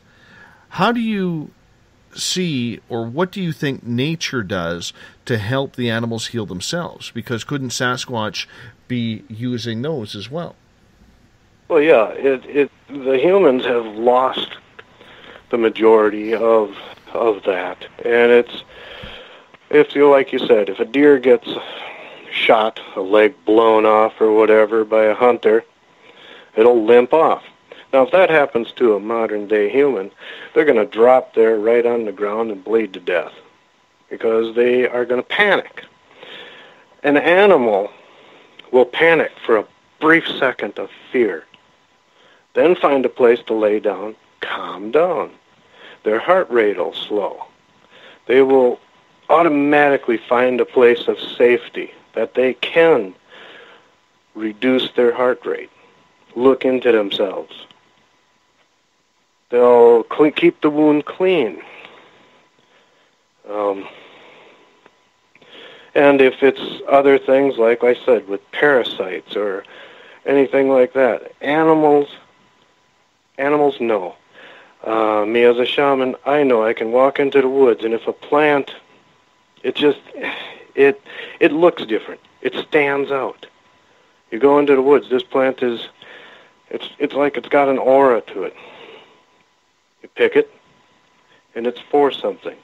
An animal automatically knows. A Sasquatch would automatically knows what will heal certain things.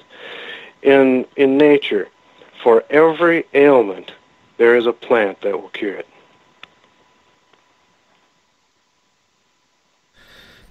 Do you believe then, besides the shape shifting, that Sasquatch has other mystical powers?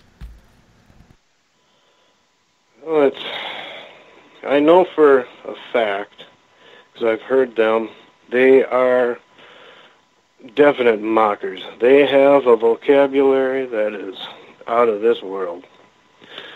They can imitate a woodpecker, a squirrel, a coyote, wolf, anything you can imagine. Like at, at one point with uh, one expedition, they've even mocked us talking at the campfire. And that, no one was out there in the woods. But yeah, well, we're we're speaking. I can't remember the woman's name exactly, but everyone, you know, would be talking to her because she was at that time, and a couple of us had said her name. I, I'm, I can't remember the name, so this may not be it, but I'm just gonna say Beth. Okay, you know, we're just talking to her. Oh, what do you think, Beth? All of a sudden, everyone pauses for a second or whatever, and way out in the woods, Beth. Everyone's hair stood up. Now, like with with coyotes and that, I know what a real coyote sounds like.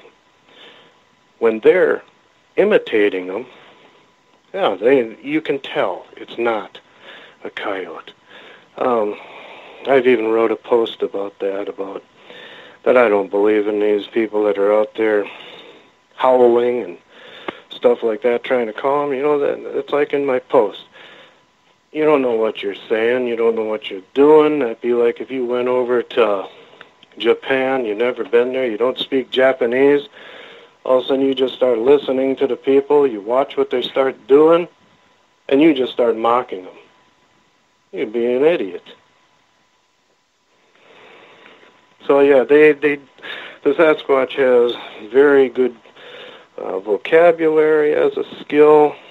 They are extremely intelligent as far as communication with structures and stick structures and stuff like that to alert and it's more or less like signs to the other in the in the group. If they come up to a road, they're going to make a, a small little cross. If they see if there's a trapper line about 10 feet before the trap, they're going to just bend over a stick and poke the top into the ground so it looks just like a trap.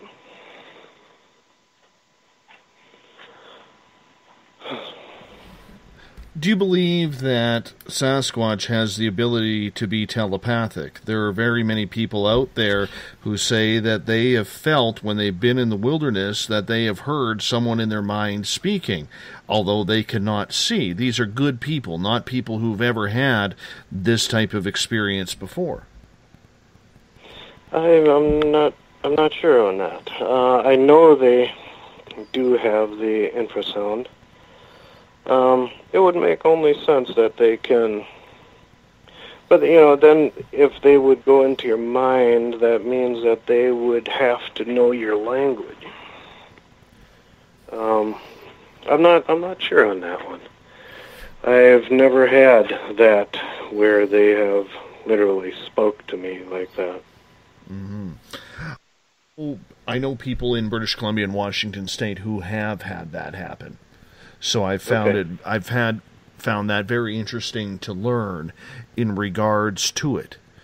Do you believe though that Sasquatch will leave gifts? Oh yeah. Yep. They they've done that to me, and I've done that for them. Oh yeah. Explain if you, that. If well, the first time I did it was with uh, Ben taught me. It was with honey milk. You just take a little bowl of pure milk. Can't be anything you buy in the store. It has to be fresh squeezed from the cow or the goat. And then you just put a little bit of honey into it, mix it up, and you put that out there. That that's that's uh, spirits. Good spirits love that. Sasquatch loves that. Other animals love it, but anyway, usually they will leave something that's a prize to them, but to you it's just, what is that? That's nothing. Like this one time, I left a gift out there, and I come back and there's just a little tiny smooth pebble. That was like, this was in the middle of a swamp. This was something that was polished from a river. So it's just something that is meaningless to me, but to them, that's neat. That's that's like our diamond. Another time, it was uh, uh, Ben had told me to go and check this one deer that was out there because I thought it was a guy that stole my deer. So I went and looked, and it, it was a, a Sasquatch that basically took the carcass. But in the uh, area of it, I found a little piece of green wood. Now, green decaying wood. It's got a scientific name for it, but it glows when you turn off all the lights and everything. This little green piece of wood glows. Well, that was right where the deer was.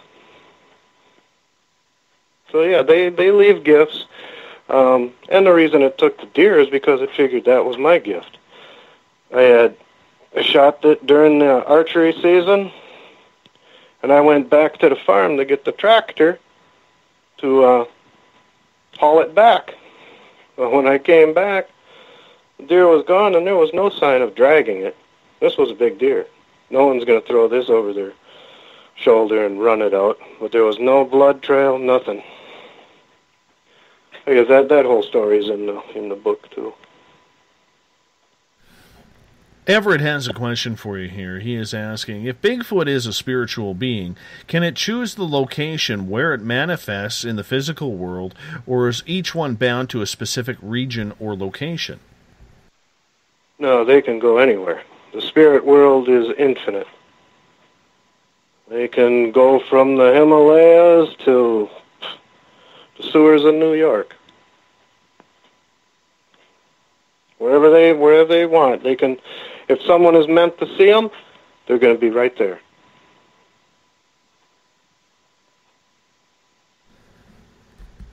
Skeptic. But there is no. Go ahead. There is no between them in the spirit world. There is no territorialism. Now, see, I have in the physical, I have had a territorial confrontation with one. What was that? That also. that was very frightening. I even had a deer rifle with me. And that uh, they even had that was on uh, Monster Quest about that one. But no, um, it was a uh, hunting season. I'm sitting on a hill on a power line. Uh, I had to go and take a piss, so I wander off of the power line into the woods, take a piss by this little tree.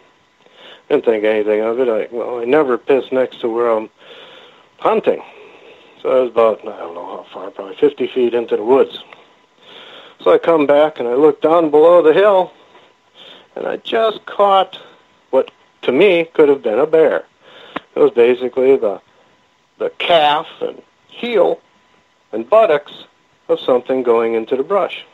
So I'm I'm thinking bear. Well, 15 minutes pass. I take a couple drinks of my coffee from the thermos. I hear heavy breathing and growling off to the side. I click the safety off, face the direction, and just like that, this little tiny maple tree, I'd say probably three inches in diameter, starts whipping. It's probably, I don't know, 25 some feet high. Still's got some of the fall leaves on it. Just like that, it starts slashing back and forth, back and forth. All the leaves are just flying off of this thing. The wind from it is just moving the other trees. I booked. I left my thermos back there. I left my cup there. My binoculars were left there. The only thing I grabbed was my gun and took off running. Next day, came back there. Quite nervous, quite scared. My thermos was gone. Couldn't find that right away. My binoculars, they were there. They were moved. Found them. After a while, I found my cup. That was probably moved about 20 feet away. Thermos was off in the other side of the power line in the woods. Found that only because it had a blaze orange strap on it. Then I thought, okay, now I'm going to go and check what happened out here. I go into the woods. I get up to it, and here it's the same tree. It's a little tiny maple, little tree that I had just taken a piss by. It was a territorial. I, I pissed on his, apparently his marking ground. So yeah. so yeah, it was a territorial confrontation. Mm, that's a lot of piss, my friend. That's a lot of piss going on. there. You pissed off Bigfoot with your piss, is what you're saying. Yeah. Abs- that, that's funny. Skeptic at hashtag Spaced Out Radio on Twitter, he always asks the same question when it comes to Sasquatch conversations we have on this show. I think it's a little bit of a fetish because he's wondering if you've ever found any scat samples. Well, I always do, but that is very hard to determine. Even if you were to send it in for DNA, the DNA would be so corrupted because of all the other DNA that it's eaten. You know, if it's eating a mouse, well, now you got mouse DNA in it. It, yeah, I found lots of scat out there, and we've we when we've been on expeditions, I've collected it in bags and stuff like that and sent it in, but it's always come back in either inconclusive or uh, contaminated with other han- animal hair and stuff like that. Well, that's understandable. If it's eating other animals, well, then you're going to have that in there. But yeah, you you will find it uh, out there. Um, yeah. If someone was looking in the forest for this, what would they be looking for? What would it look like? Describe the deuce of the Sasquatch for us. Oh, that varies. You know, basically, it's all in the diet. If you got one that's uh, raiding, it's all in the season too. You know, in the early spring, you're most likely are going to have parasites in it. Um, if it's got blood in it or anything like that from injury, it's going to be black. If it's going to, if they've been eating berries, it's going to have seeds in it. Um, you, you can't really really tell what it is, you know, or who made it. You know, it's certain, unless you're living in the in the woods like I do, you know, I can tell the difference between coyote, fox, wolf, uh, bear, or anything like that. Um, the best way I can say it is a Sasquatch will basically look humanoid. It'll look humanoid. The only bad thing is in certain areas where you have wild boar, it will look something like that too. But uh, it all changes during the seasons or what they've been eating. Uh, injuries or anything like that also contribute to the uh, texture or look of it. But uh, the other other thing is normal animals will just go as they walk. Okay, the Sasquatch has to just like a human. They have to squat. So if you're looking for it, look for an area of hiding. Um, they won't go next to their bed. So if you find a bed, do a 50 foot circle around there and you'll find it. Have you ever collected any castings? Yeah. Yep, I did a couple up in uh, Michigan, a couple um, here, and I did one from the Big Phil. What size were they? Uh, one was the one up in Michigan was I think 16 and a half. Uh, Big Phil 18. Uh, the one that uh, Kurt found over on the Rock Creek area was he had a size, I believe, 13 foot or boot, and this was at least six inches bigger than that. So. hmm Do you find that most Sasquatch sightings that you are finding or seeing evidence of are closer to waterways than far into land? Yeah, that's that's an important. If it's like I said, physical in the physical form or anything, water is a major uh, factor. Um, not only a good escape route, but a necessity for the food that they they like, which are crayfish, clams, anything. You know, you figure anything that a raccoon would like, the Sasquatch will. Anything a bear will like, the Sasquatch will. Um, they've even disguised their raiding uh, on farm crops to other animals. Person gets all their trees broke down in an apple orchard, they blame a bear. Not always. But yeah, it's very important for the the water source is the number one. Uh, then it's basically food concentration is number two. In your area, in your in your area of Wisconsin, what are people or what are Sasquatch eating in that area? What is their food source? Ev uh, basically anything that, well, I can't say anything that a person will eat out there because I eat stuff out in the woods that no one would eat. Um, well, one of the main sources, the main sources that is globally, is rodents. Mice are everywhere. That's a high protein, uh, high energy food. It can they can find it anywhere. They tip over, stump insects, worms, grubs, um, certain grasses, crops, farm crops. Got that everywhere. Orchards. Then you look at the waterways. You've got clams. You got fish. Then there's in the springtime. You've got young fawns. You've got uh, bird eggs. You've got hatchlings.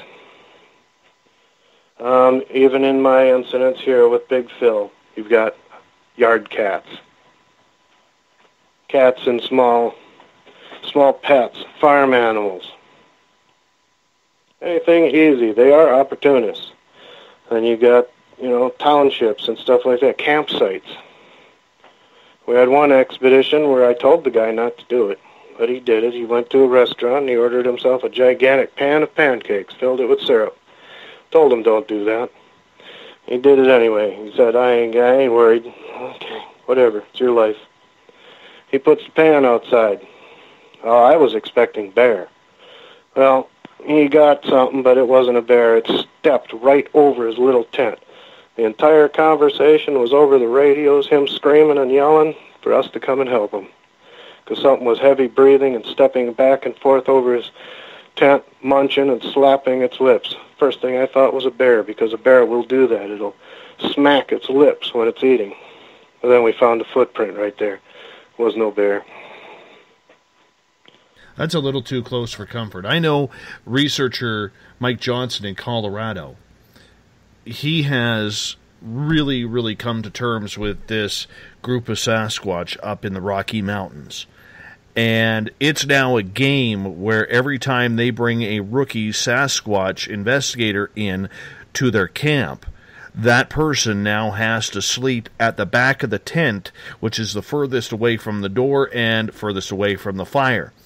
And Mike will actually tell you that usually, sometime in the middle of the night, and it usually doesn't take too long, where all of a sudden they will have this hand press the tent to get a feel of the person's head or their shoulder or something along those lines. And it's now a running joke going on over there because that's what happens. He's built that Oh, it- trust. it- it's not a joke. That is frightening as hell when that happens. When something touches you from the outside of a thin little fabric.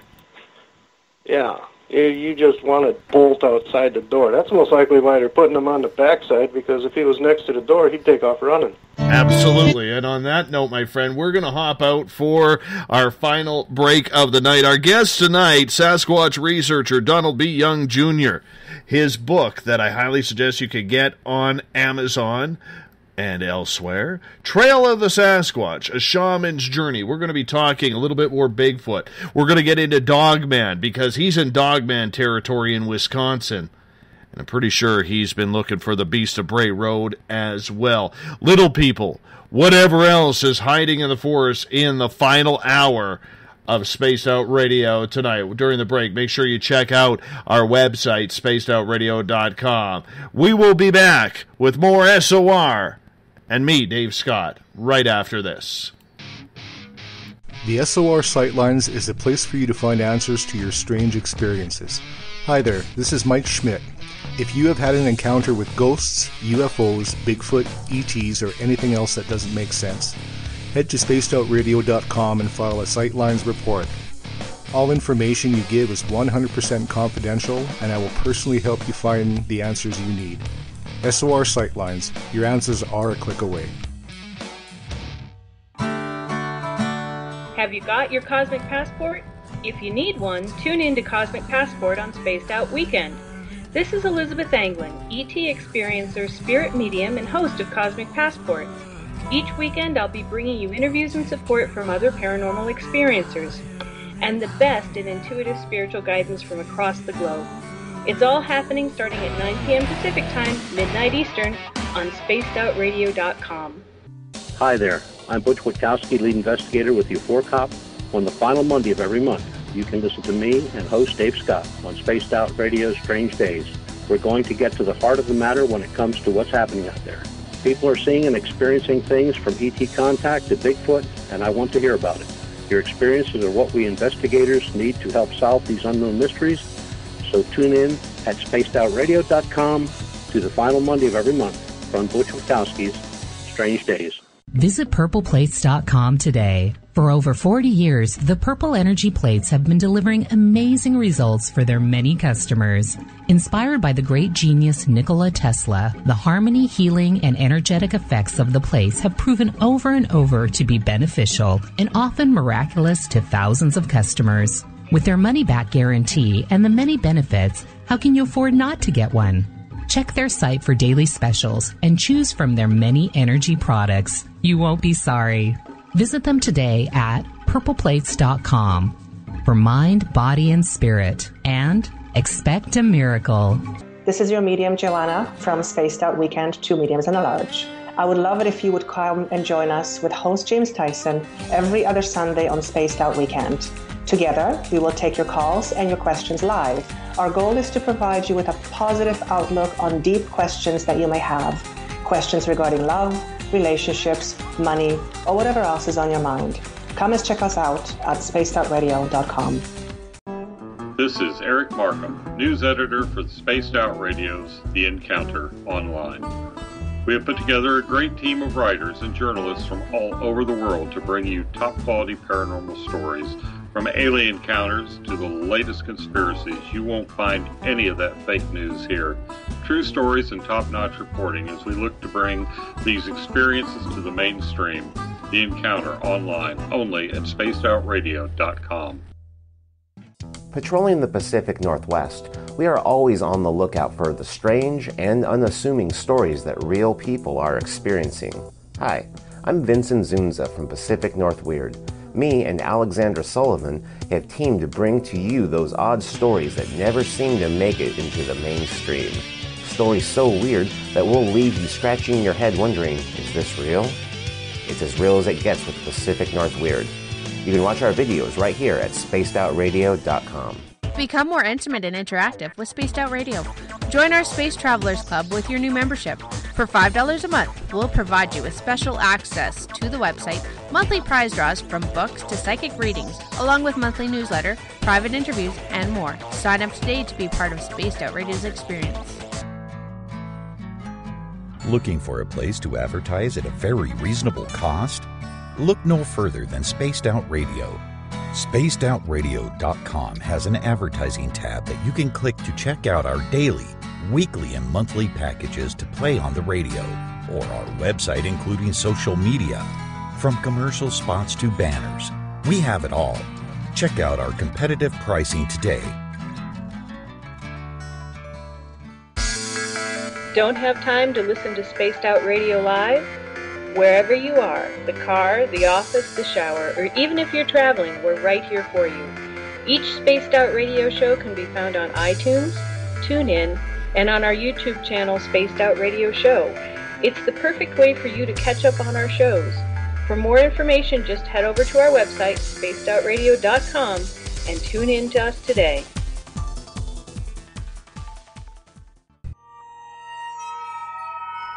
You hear footsteps in the empty room above you.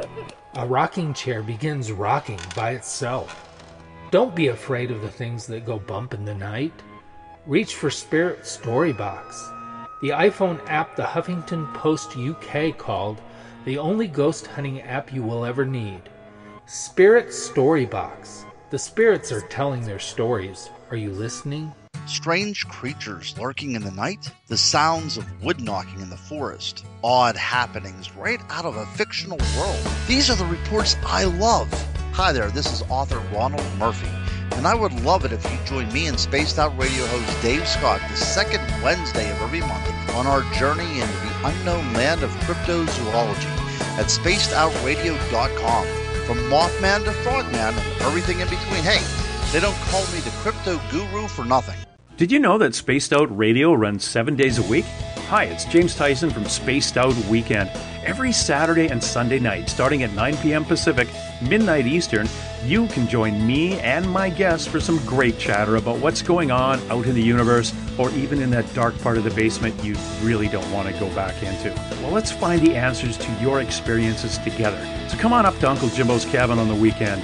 For more information, look us up at spacedoutradio.com.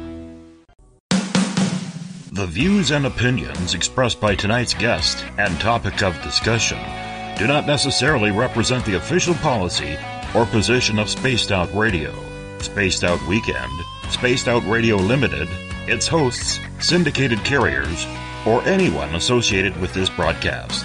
You're listening to Spaced Out Radio with Dave Scott. Follow Dave on Twitter at Spaced Out Radio and hashtag Spaced Out Radio, and on Facebook Spaced Out Radio Show. Now, back to the program.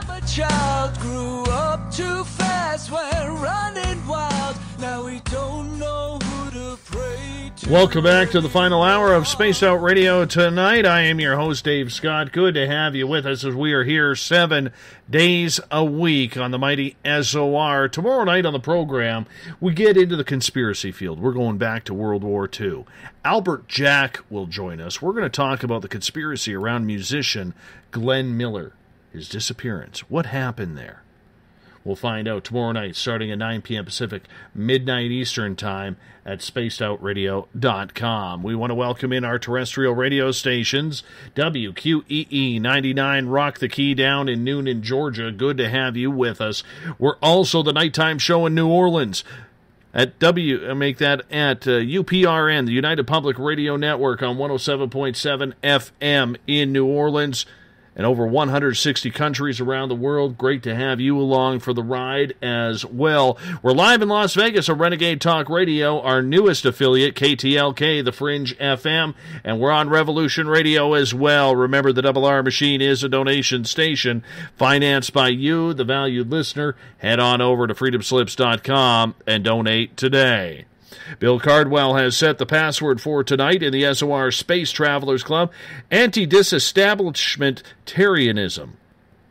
Anti disestablishmentarianism is your password. Make sure you use it wisely, space travelers, as Bill sets a password each and every night. If you want to follow us on social media, you can be like Marcus. Follow us at hashtag Spaced Out Radio during the show. I'll get to your questions and comments there live. Make sure your snark is good. Also, on Facebook, Spaced Out Radio Show. Tune us in on TuneIn. Download this show and others on iTunes, RadioGuide.fm, TalkStream Live, Player.fm, and Stitcher are other places you can find us. And our website is SpacedOutRadio.com, where we have a plethora of features for you, including joining the SOR Space Travelers Club for as low as $5 a month. We're talking Bigfoot tonight. Our guest, Donald B. Young Jr. You can find his book, Trail of the Sasquatch A Shaman's Journey, on Amazon, and it's all over the internet. Make sure you check it out. Donald, welcome back for the final hour. Thank you. We've been talking and mainly focusing the first couple of hours on Sasquatch. I got a couple questions before we move on. And this one comes from Ron. He is asking Does Bigfoot use any kind of tools indicating a sign of intelligence? Well, yeah, just like any uh, uh, primate, and well, in the physical form again, any kind of primate always uses a uh, uh, bunch of different tools. Um, a uh, just a stick, for instance, uh, it can use that for digging, um looking into uh, digging up grubs or anything like that. Um, as far as building tools or anything like that, no. It it it it uses the the what the forest will give it. Uh, that's how I can summarize it the easiest. It'll use what it has at hand in the forest. Do you think there will ever come a day when we actually prove the true existence of this creature? It it could be. It it could be um, if it's in the physical form. It can be rather soon because as we deforest the world, many more animals will show up that we never knew existed. That's happening every every day. But also, we're going to miss out on a lot of the animals that depend on the forest, and we will basically eradicate them because they don't have a, a home anymore. But more sightings will show up as the forests shrink and populations of human expand. Let's move on to some other creatures. You're right in the middle of Wisconsin, near Michigan. And in 1989, Linda Godfrey, who is the queen of the dog man, wrote an article about the beast of Bray Road. To have Sasquatch in your area, along with numerous dogman sightings, do you believe that both creatures have come in contact with each other, or do you believe that they try and stay out of each other's territory? Uh, I'd say they ran across each other, but they they tend to probably, I would have to say they have their own territory. You know, they they avoid each other, kind of like when you got a wolf pack and a coyote pack. They're both, they know they're there, but unless they come within sight of each other, there's not going to be no problem. In your quest to communicate and connect with Sasquatch, have you ever run across Dogman? I'm not sure. I've I've come across some things out in the woods at night that I haven't seen, but have. On one incident, I was treed, and uh, I stayed up at the top of this tree all night long because this thing was at the bottom, growling, snapping, trying to climb up the tree after me. It was too big, so it kept on busting the branches and falling back down. The attack was finally called off by something that yelled or screeched out into the uh, or down the trail. Um, that was my own stupidity, though. That I, I had drawn it in. It it basically followed a scent trail that I was laying because I I wanted it to go back to my campsite where I had my pickup and a tent with a tape recorder in it of snoring. I wanted to basically have it go to the temp while I was in the back of the truck watching. I didn't make it that far. So I don't know what that was. That could have been a Sasquatch. That could have been a Dogman. You know, people have said, "Oh, it was a bear." Uh, it wasn't no bear because uh, there was no claw marks on the, the tree's trunk, and a bear will use its hind legs to push itself up using its claws, and uh, will grab around the tree with its front paws and using the claws to climb up, and uh, there was no claws at all. Whatever this was was literally grabbing the branches, and its weight was just snapping them right off. So, Dogman, I don't know. It could have been one. There are a lot of people who say Dogman seems to be quite more ferocious and quite more aggressive than what we see with Sasquatch. Would you, in your research, uh, agree with this? Uh, yes, I would, because uh, the Dogman, if, if like their description, it has the muzzle, the large teeth, uh, a canine, which is a meat eater. So, and it even goes with the one uh, road worker down towards uh, the Milwaukee area who had a deer snatched right out of the back of his truck. Um, a Sasquatch now, in the physical form, would be more like an optimist. It would be out there eating berries, uh, meat when it finds it, roots, grubs, like we went through the before about its uh, food. A dog man, that that's totally different. That's that's a meat eater. It's yeah, it's going to be very much dangerous. What's the closest you believe that you have come in contact? Was it when you were treed, or do you think that you have been followed like a cougar will stalk? It will continually circle you until it gets very, very close, making that circle smaller and smaller and smaller around you? Or do you think that this is something that will come straight out and make contact face to face? Uh, I think I think it's going to just like just like a wolf pack or a coyote pack or a solitary lobo out there will check you out first. It's gonna. I've been paralleled by a Sasquatch already. A young one, a youth, was basically following me. Um, any kind of a predator, uh, unless they're rabid or crazed by something or a wound, they're not going to just rush in and attack you. They're going to parallel you. They're going to watch you. They're going to get uh, downwind of you to get a good scent of what you are. They're going to keep an eye on you, make sure you ain't got no weapons, make sure that you can't harm them. even in the ocean, a shark is going to circle you a few times before they come in for a strike.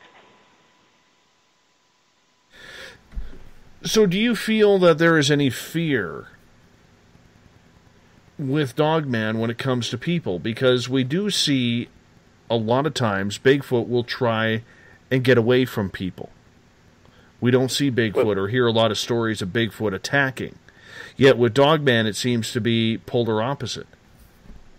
I don't think with the dogman, I don't think there's no fear. I think there's caution.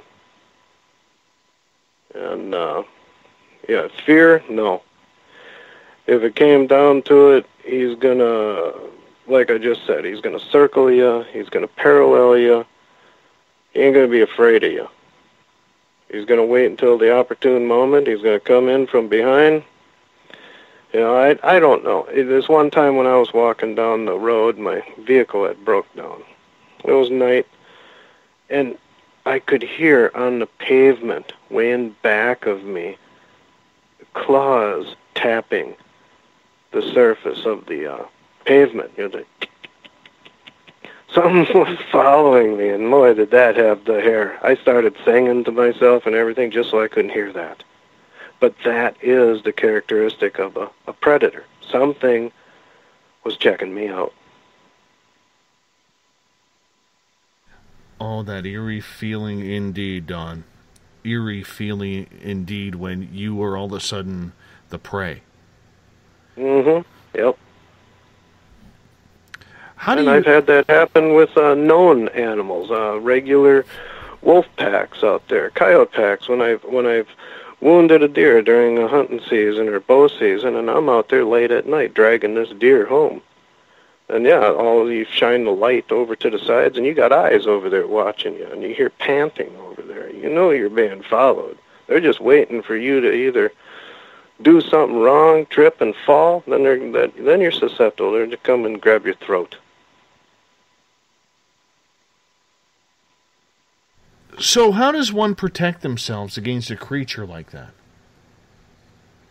Do you run? Do you. No, no, never run, never run. But uh, I don't know. Uh, against something like that, if you're totally unarmed, you're pretty much done for. you're armed, I don't know. It, it it may be a spirit animal, as like I said with the Wendigo. A modern weapon won't take it down. So no matter what you do, unless you can, like a shaman, throw a protective force around that it can't come in, it will, it'll leave you alone. Um, a lot of times a medicine bag will have that uh, protective force in it. But uh, as far as battling one head on to try to protect yourself, that's, that's the only way I can answer that is can you defend yourself against a cougar? I haven't defended myself against a cougar at a bar, let alone in the forest. You you don't have no knife, you don't have no gun or anything like that, and you're out in the woods and cougars after you. Know, even if you were to take both thumbs and put it in its eye, it's still going to take you out. For sure. For sure. Now, when it comes to a lot of these cryptid creatures, do you, you I know how you feel about Sasquatch. You feel that it is a shapeshifter, that it can jump in and out of reality. Do you feel the same thing for Dogman as well? I'm not sure. Now, the dog man may be um, a one one time thing. A dog man may be a spirit, but it also may be a mutation. It may be a shapeshifter. It may be like in the movies of the werewolf. It may be the true shapeshifter where like in the movies, the guy is walking along, he looks up at the moon and he starts turning into it. That may be what the dog man may be. It may be a werewolf.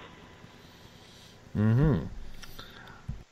I was actually going to ask you that next. If you thought it was a werewolf, because other investigators tend to think that they are two separate creatures.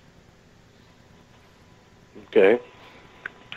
Then, uh, yeah, I, I, I don't know on that. Um, uh, as far as it goes with the natives, it basically would be the Wendigo.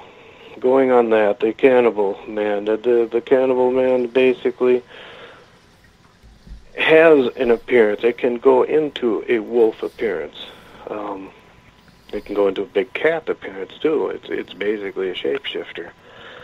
Um, but it will, for threat-wise, go into the most frightening. Now, see, and there's another aspect of it. Whatever a person, see, now you had mentioned that about telepath- telepathic with Bigfoot. Well, a shapeshifter would look into the mind of who it's after. What does that person fear most? That's what it would change into. Mm-hmm. Wouldn't that be along the lines of what we see at the Skinwalker Ranch? Yeah, well, exactly, exactly. I've heard about that, and I, I haven't dug into it much. I've only seen the uh, documentary on TV about it. But yeah, that's pretty much it. Is that the next step for you in research? Is looking in to see if the Skinwalker has made its way to the Wisconsin area? Oh, I'm pretty sure it has already. Uh, it's it's not like they have borders. True enough. Pretty sure it's across the entire United States. It's just someone in Wisconsin was lucky enough a couple times to see one. I have a friend of my of mine here. She was actually traveling one day, and she's First Nations as well, but she lives in the states.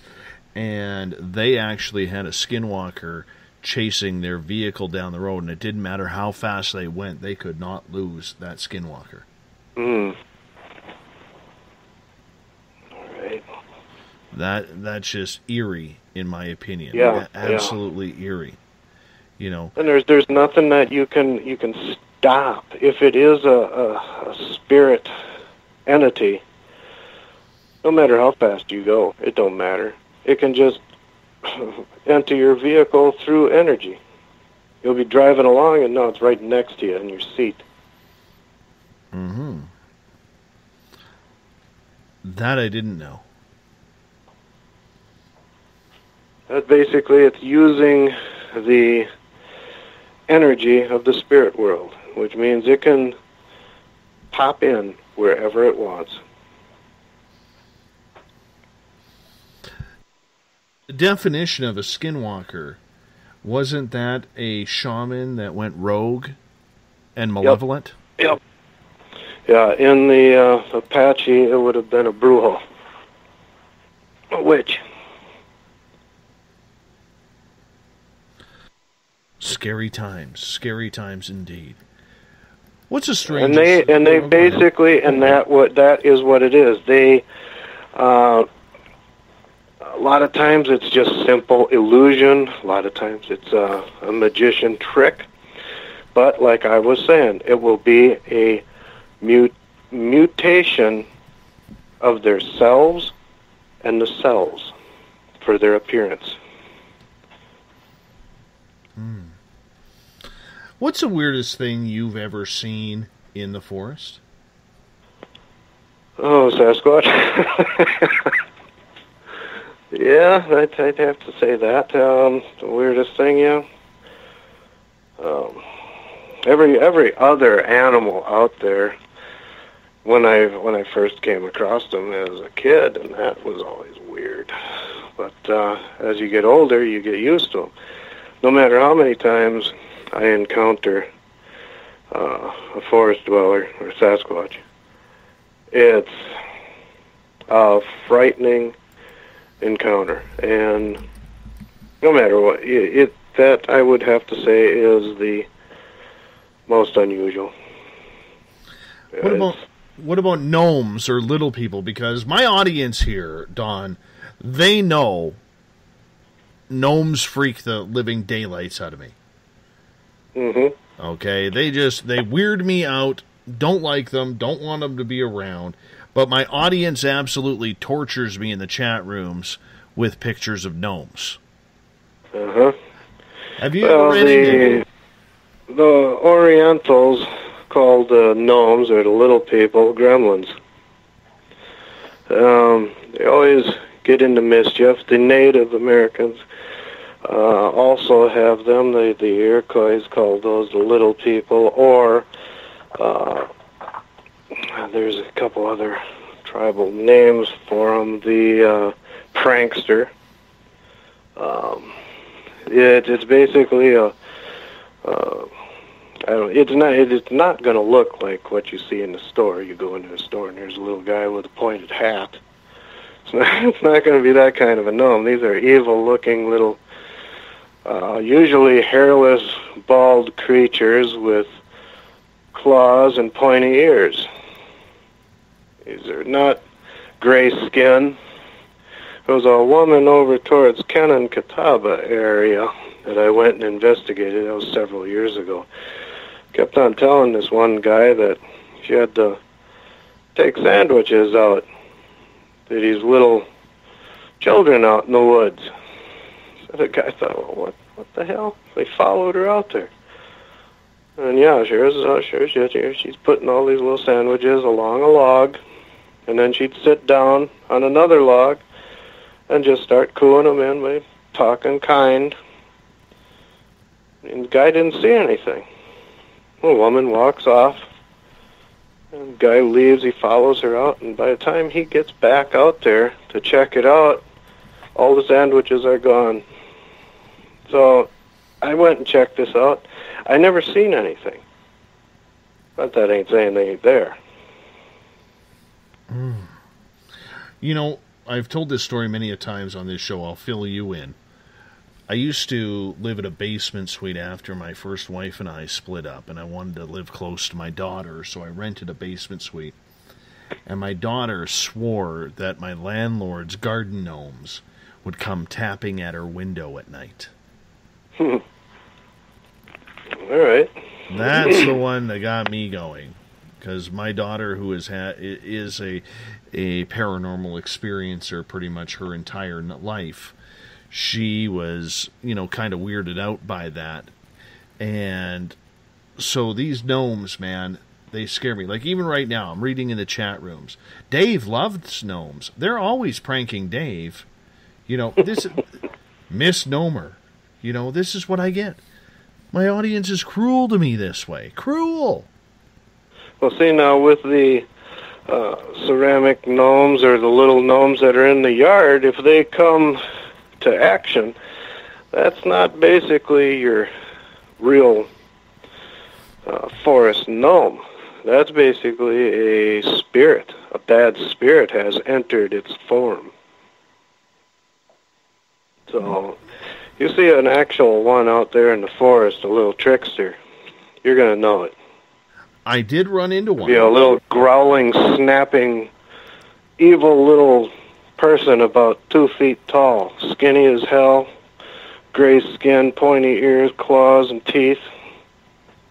It ain't gonna look like the friendly little gnome with a pointy hat. Well, it's funny because last year my son and I we were walking along a trail in the summer and I had him in his stroller because he's only 3 years old and you know when you get to that point of the year in my area you have to be bear aware. And All right. and I just I just felt it would be safer rather than him walking where in case him and I needed to scramble on out of there that we had a stroller rather than me carrying him. And so, anyways, he's in his stroller. We're having a good time. We start walking down this hill, and up from the lake side of the path that we were coming, there's a hill going down to the lake. There came this thing, just trotting out into onto the path. And I hate to say it because it sounds so stupid and cartoonish, but A, it was blurry. It's right in front of me and is blurry. and B, it looked like a a a dirty two by four that was only about 18 inches to two feet tall, with little oh. arms and legs sticking out of it. And I'm like, you got to be kidding me! And by the time I looked at it and caught what it was, it's it it was like in mid step, stopped, and took off back into the trees and down that hill.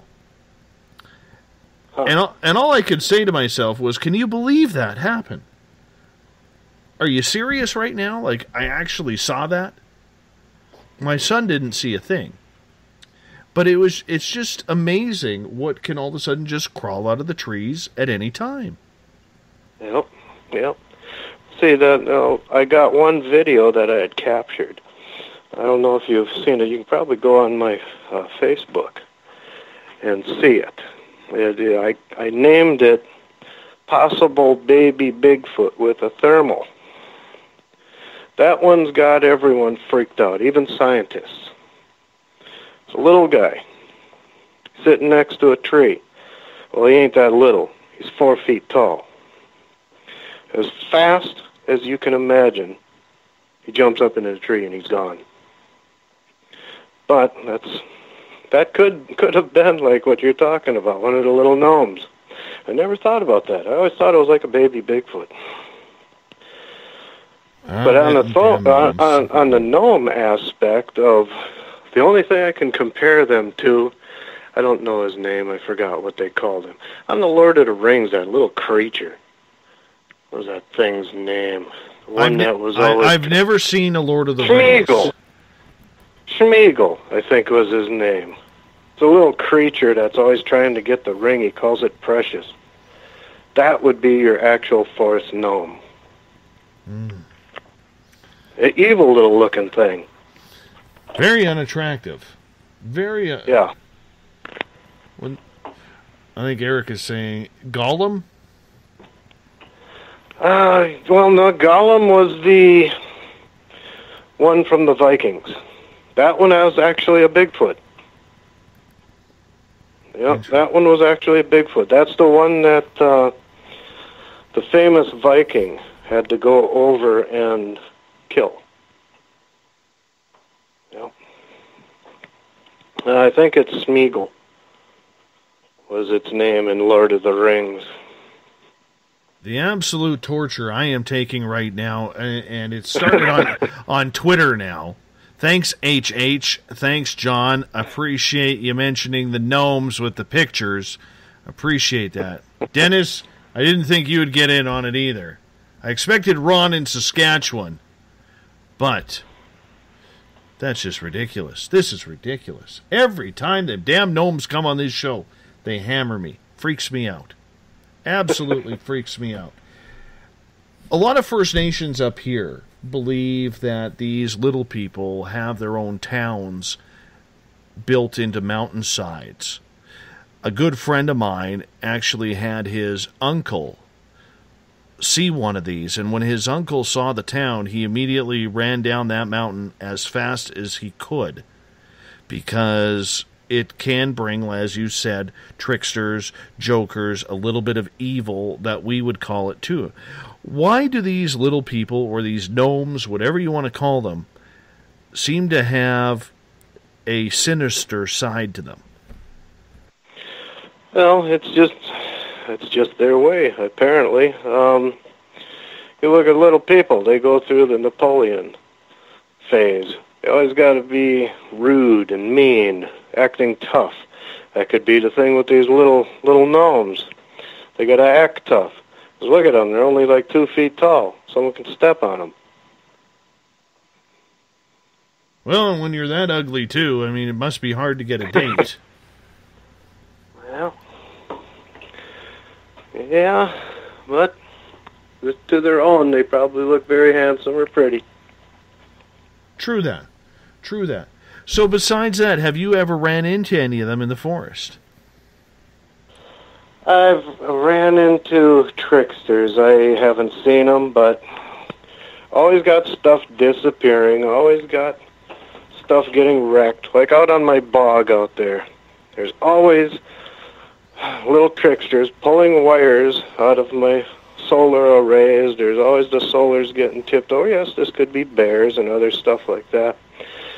But it's the little stuff. You put a screwdriver somewhere, you walk around collecting firewood, you go back to the project and the screwdriver's gone. You find it about an hour later outside over on a, a stump or something. That's what they that's what they do. Um, it's just a little that's why they got the name trickster. Mm-hmm. The only time they're really uh, harmful to you is, like you said, if you come up to their uh, population or if you uh, pose a threat. But if you're not a threat, they're more or less just a trickster. They'll come and steal stuff from you. You know, kind of like on, uh, uh, let's see, Star Wars, when uh, Luke crashed in that swamp and Yoda was being a little pest. Pretty much like that. They try to steal your candy bar, try to take stuff from you that don't belong to you without you knowing. Curiosity. In your area, then, is there more than just Dogman, Bigfoot, and little people walking around when it comes to the strange? Oh yeah, yeah. It's not just it's not just the uh, well known. You know, there's the ones out there, the other tricksters, which are called the Wichitas. They're out there. They're um, them are little tiny people as well. They're well, I don't call them people. They're evil little evil little creatures that also are no hair, um, run around causing any kind of havoc they can. Um, spirits like uh, the forest is just filled with spirits.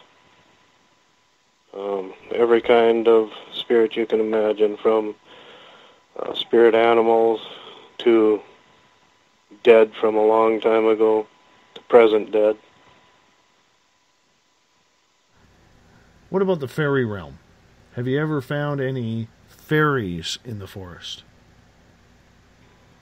I, I don't know. It, it's with that. I've I've found orbs. I've caught orbs with my own vision, and I've caught orbs on uh, camera. Um, some people say that those are uh, fairies inside it.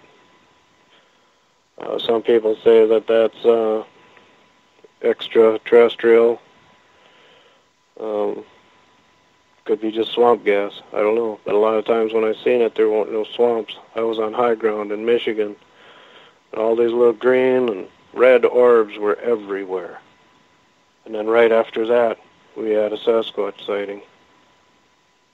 And then the orbs were gone. Let's get to some questions from our audience. They're building up here. Don wants to know Do you think Bigfoot could be a ghost? Could be. I, well, that is basically from the spirit world. As I as I had mentioned long ago, thousands of years ago, the Sasquatches most likely were physical beings that walked walked the earth. They were either exterminated by man or some other like a disease or something, and now they miss their past physical form, so they come back from the, the spirit world. So yeah, in a, in a sense, like a ghost. Follow up question from Don Do you believe that fairies are malevolent little creatures or that they're nice to be around? Maybe hang out, come over for tea. Well, I don't know. I've I am not really experienced in them, but from what I've uh, heard from uh, native elders, they're evil. Yeah, they're evil. They will, when you sleep at night in your tent or your teepee, they will come to your uh, bedroll and suck the breath out of you. Well, that's not pleasant. No. Not pleasant at all. Eric is asking, are there ways to appease the little people so that they leave you alone? Offerings. Everything, even the living, likes free stuff. Anything that they can use. One, uh, uh, the, the president of the BFRO, he was real nervous. I used to always carry a hatchet with me, and when I went to bed at night, I always stuck the hatchet in a tree. And he got real nervous about that. Well, I can see why, you know, basically. If the Sasquatch is smart enough, here's a tool, grab it. But, uh, yeah, it's, it's, Craig and Lisa are asking the same question. Have you ever seen or come in contact in the forest with any UFOs or extraterrestrials? well, my ma, grandmother said that. I don't remember it, but I remember her telling me stories about it as I woke up a few times with a bad dream that something had taken me away. But uh, I don't remember it. I just remember that she was telling me about about it, and uh, she had to take me in to a doctor just to see if there was something wrong with me. I was only like five years old at that time. Doctor couldn't find anything wrong, but uh, yeah, I've I've seen stuff that's flying up in the sky that just doesn't have any jet sound or anything like that. Um, as far as uh, an alien appearing to me, no. Um, I do believe they exist. We cannot be the only intelligent life in the universe. Um, All the way from Australia, Stephen is asking, why is it that some people see these things more than others, even if they live in the same area? Have you ever thought about that? Yeah, it, it it goes with the belief. Certain people are chosen. Uh, if you're meant to see one, you're going to. Um, if you're not, you're not. Um, like I like I uh, had said with with the hunting, animals will their the animal spirit will give itself to you. If it thinks you are in need, uh, it'll give its flesh body to you.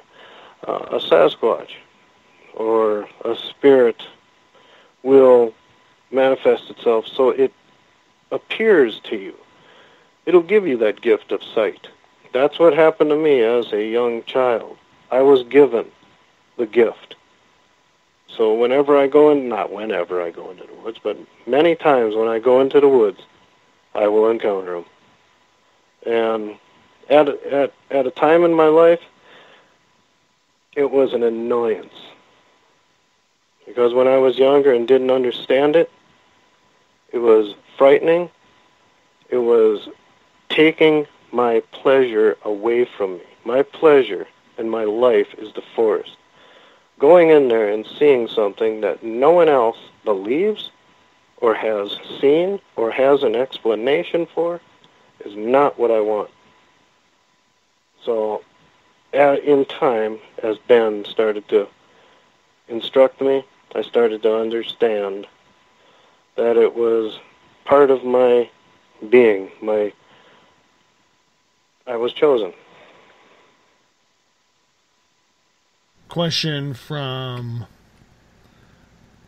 Eric. He is asking Could the fairies and the little people tricksters be something different, or are they the same thing?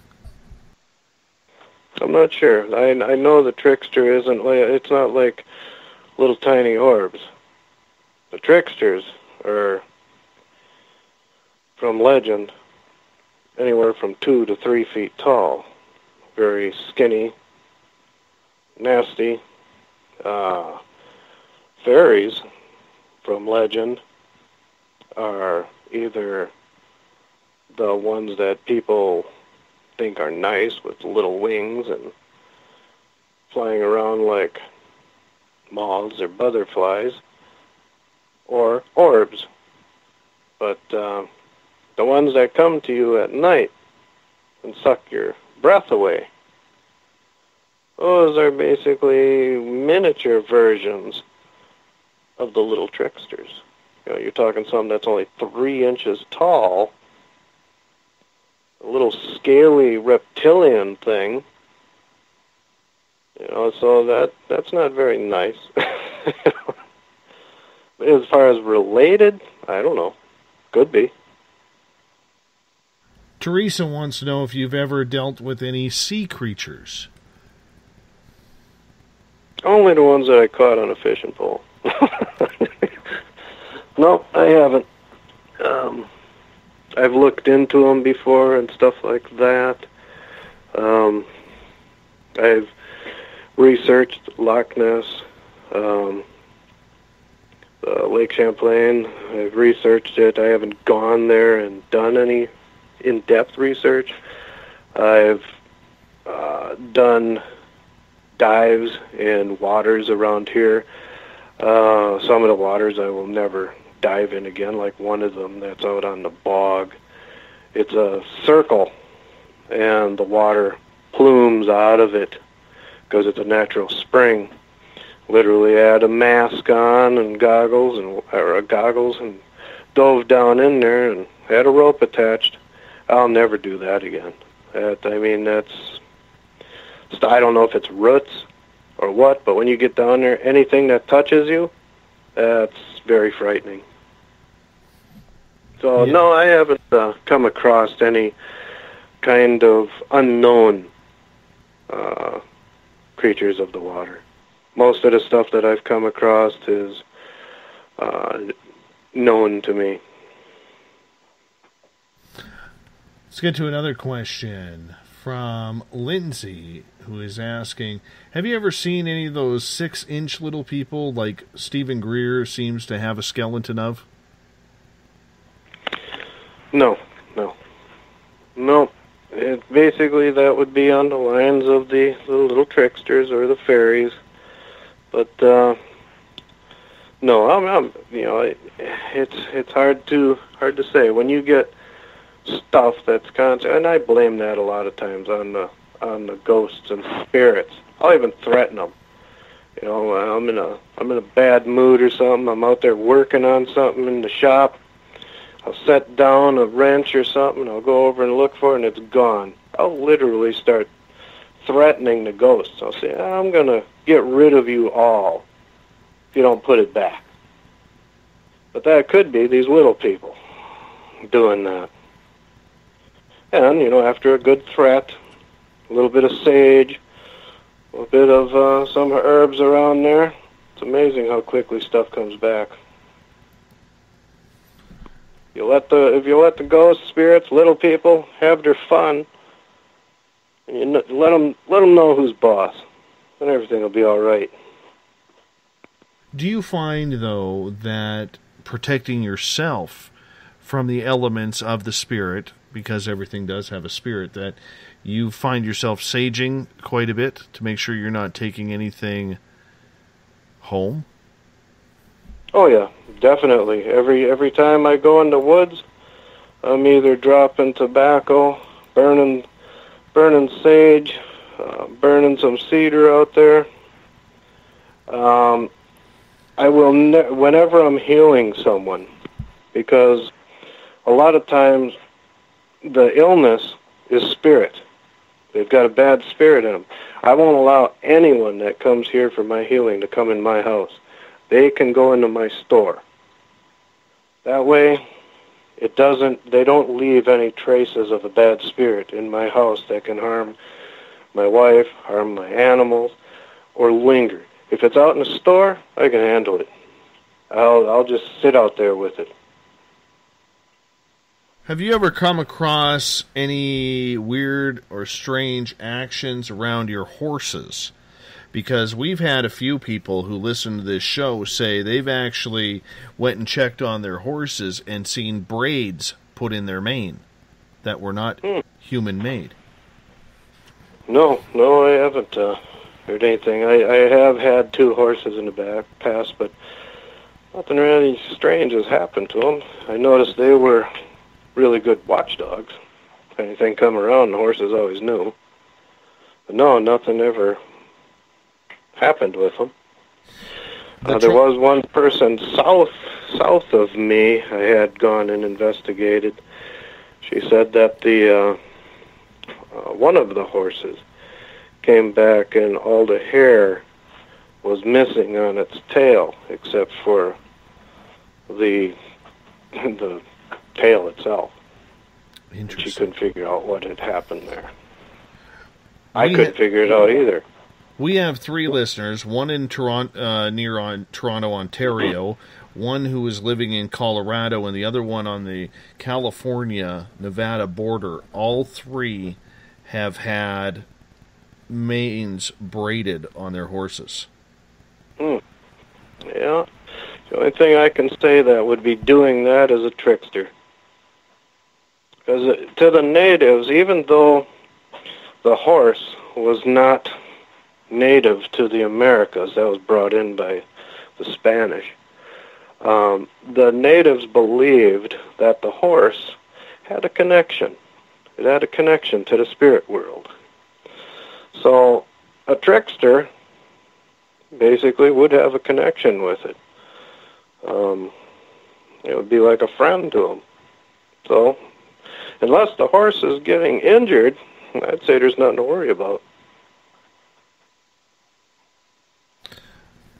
Let's move on to another question here.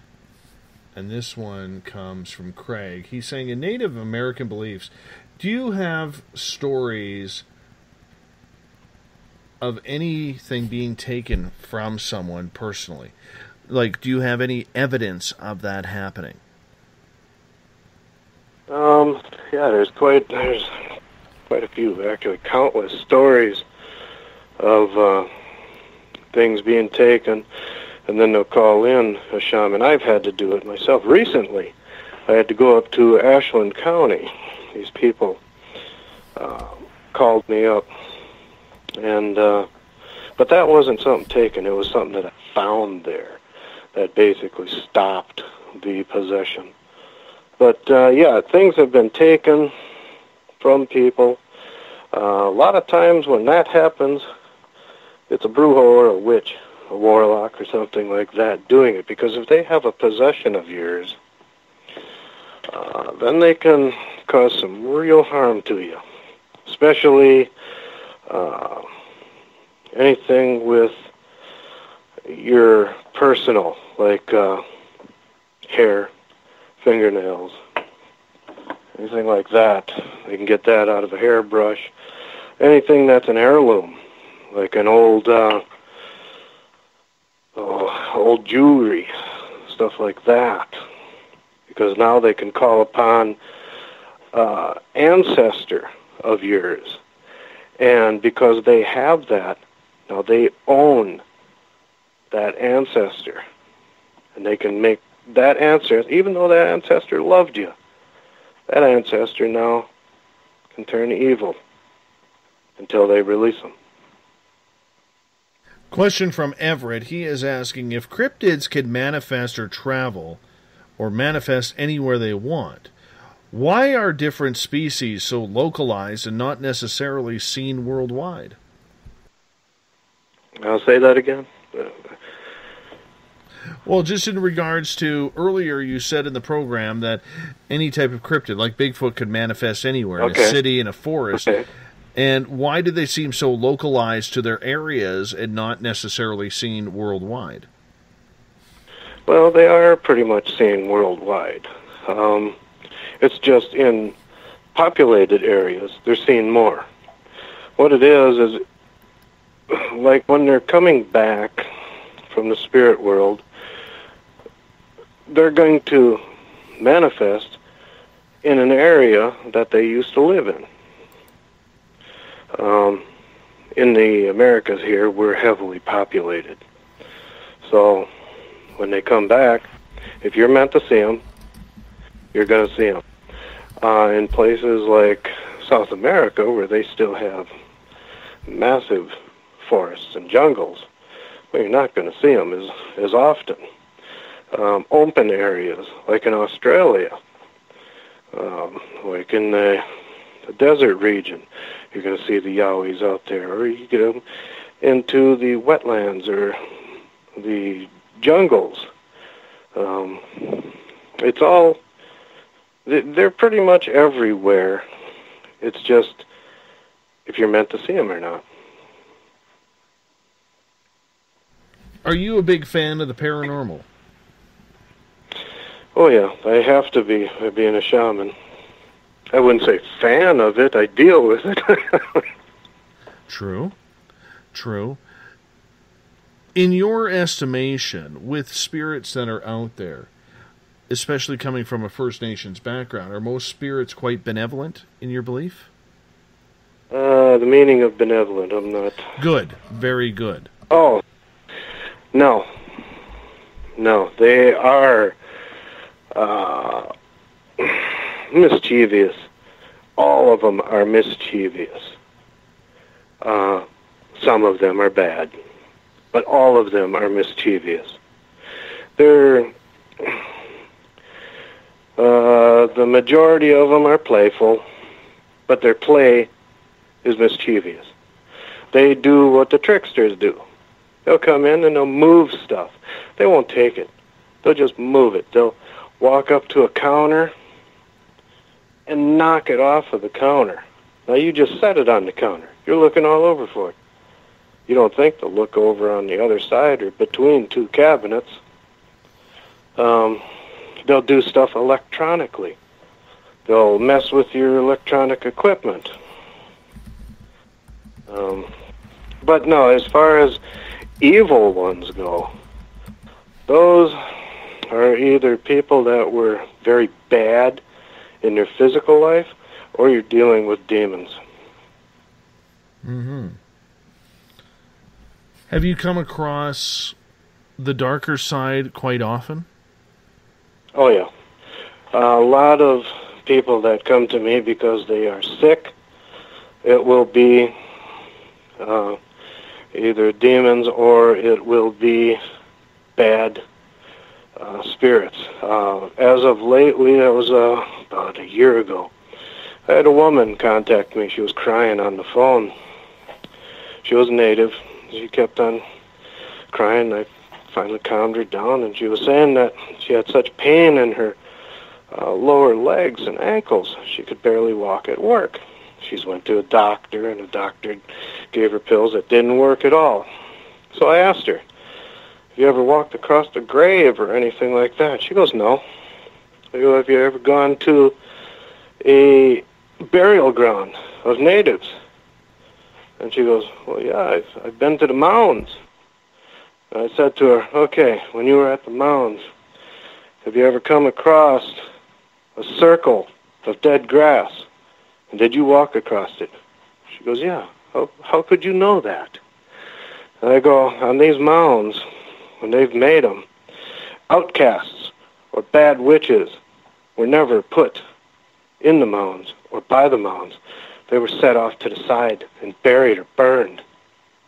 You stepped on one of them and you walked through it, but before his entire spirit or ghost could get into your body, just a little bit of it did. And that's what's affecting your legs. So she starts crying again. She comes out to my place. I took her out to the bog and I told her what you have to do is connect your feet with the earth and put the ghost back, put the spirit back. By the time she was done walking out there on the moss, all the pain was gone. And today she still gets a hold of me. She has absolutely no pain. The spirit is gone. It returned to its grave. So yeah, We got about 30 seconds left with you, my friend. I would love it if you took a little bit of time here to discuss where people once again can find your book. Okay. Well, the main website for the book is http um, colon forward slash slash trail dash of dash the dash sasquatch dot webs dot com. An easier way is to just do the http colon slash slash replures dot webs dot com. That's R E P L U R E S dot webs dot com. And on that website, you can you'll see my book, a picture of my book. Just click on that, and that'll take you to the main book website. From there, it'll give you the order page, and on the order page, it'll give you different uh, retailers. The one I would prefer or recommend people to order from would be the publisher himself. That way, you ain't going through any middlemen, and that's AuthorHouse. Or they can just go to Amazon. They can order the paper book, or they can order the Kindle version. And it's at Amazon, and for there, all you'd have to do is either type in my name at Amazon or type in Trail of the Sasquatch, a Shaman's Journey, and it'll pop up. Excellent, my friend. Thank you for being on Spaced Out Radio tonight. I'm going to get you to hold on because I got to wrap this thing up. Tomorrow night on the program, Albert Jack is going to join us. We're getting into the Glenn Miller conspiracy. We're going back in time to World War II. I hope you join us, 9 p.m. Pacific, midnight Eastern Time, right here at spacedoutradio.com. Mr. Bumblefoot is about to take us home. Have a great night, everyone. We'll see you tomorrow. Remember, we own the night. Own it with us. Mr. B, Take us home.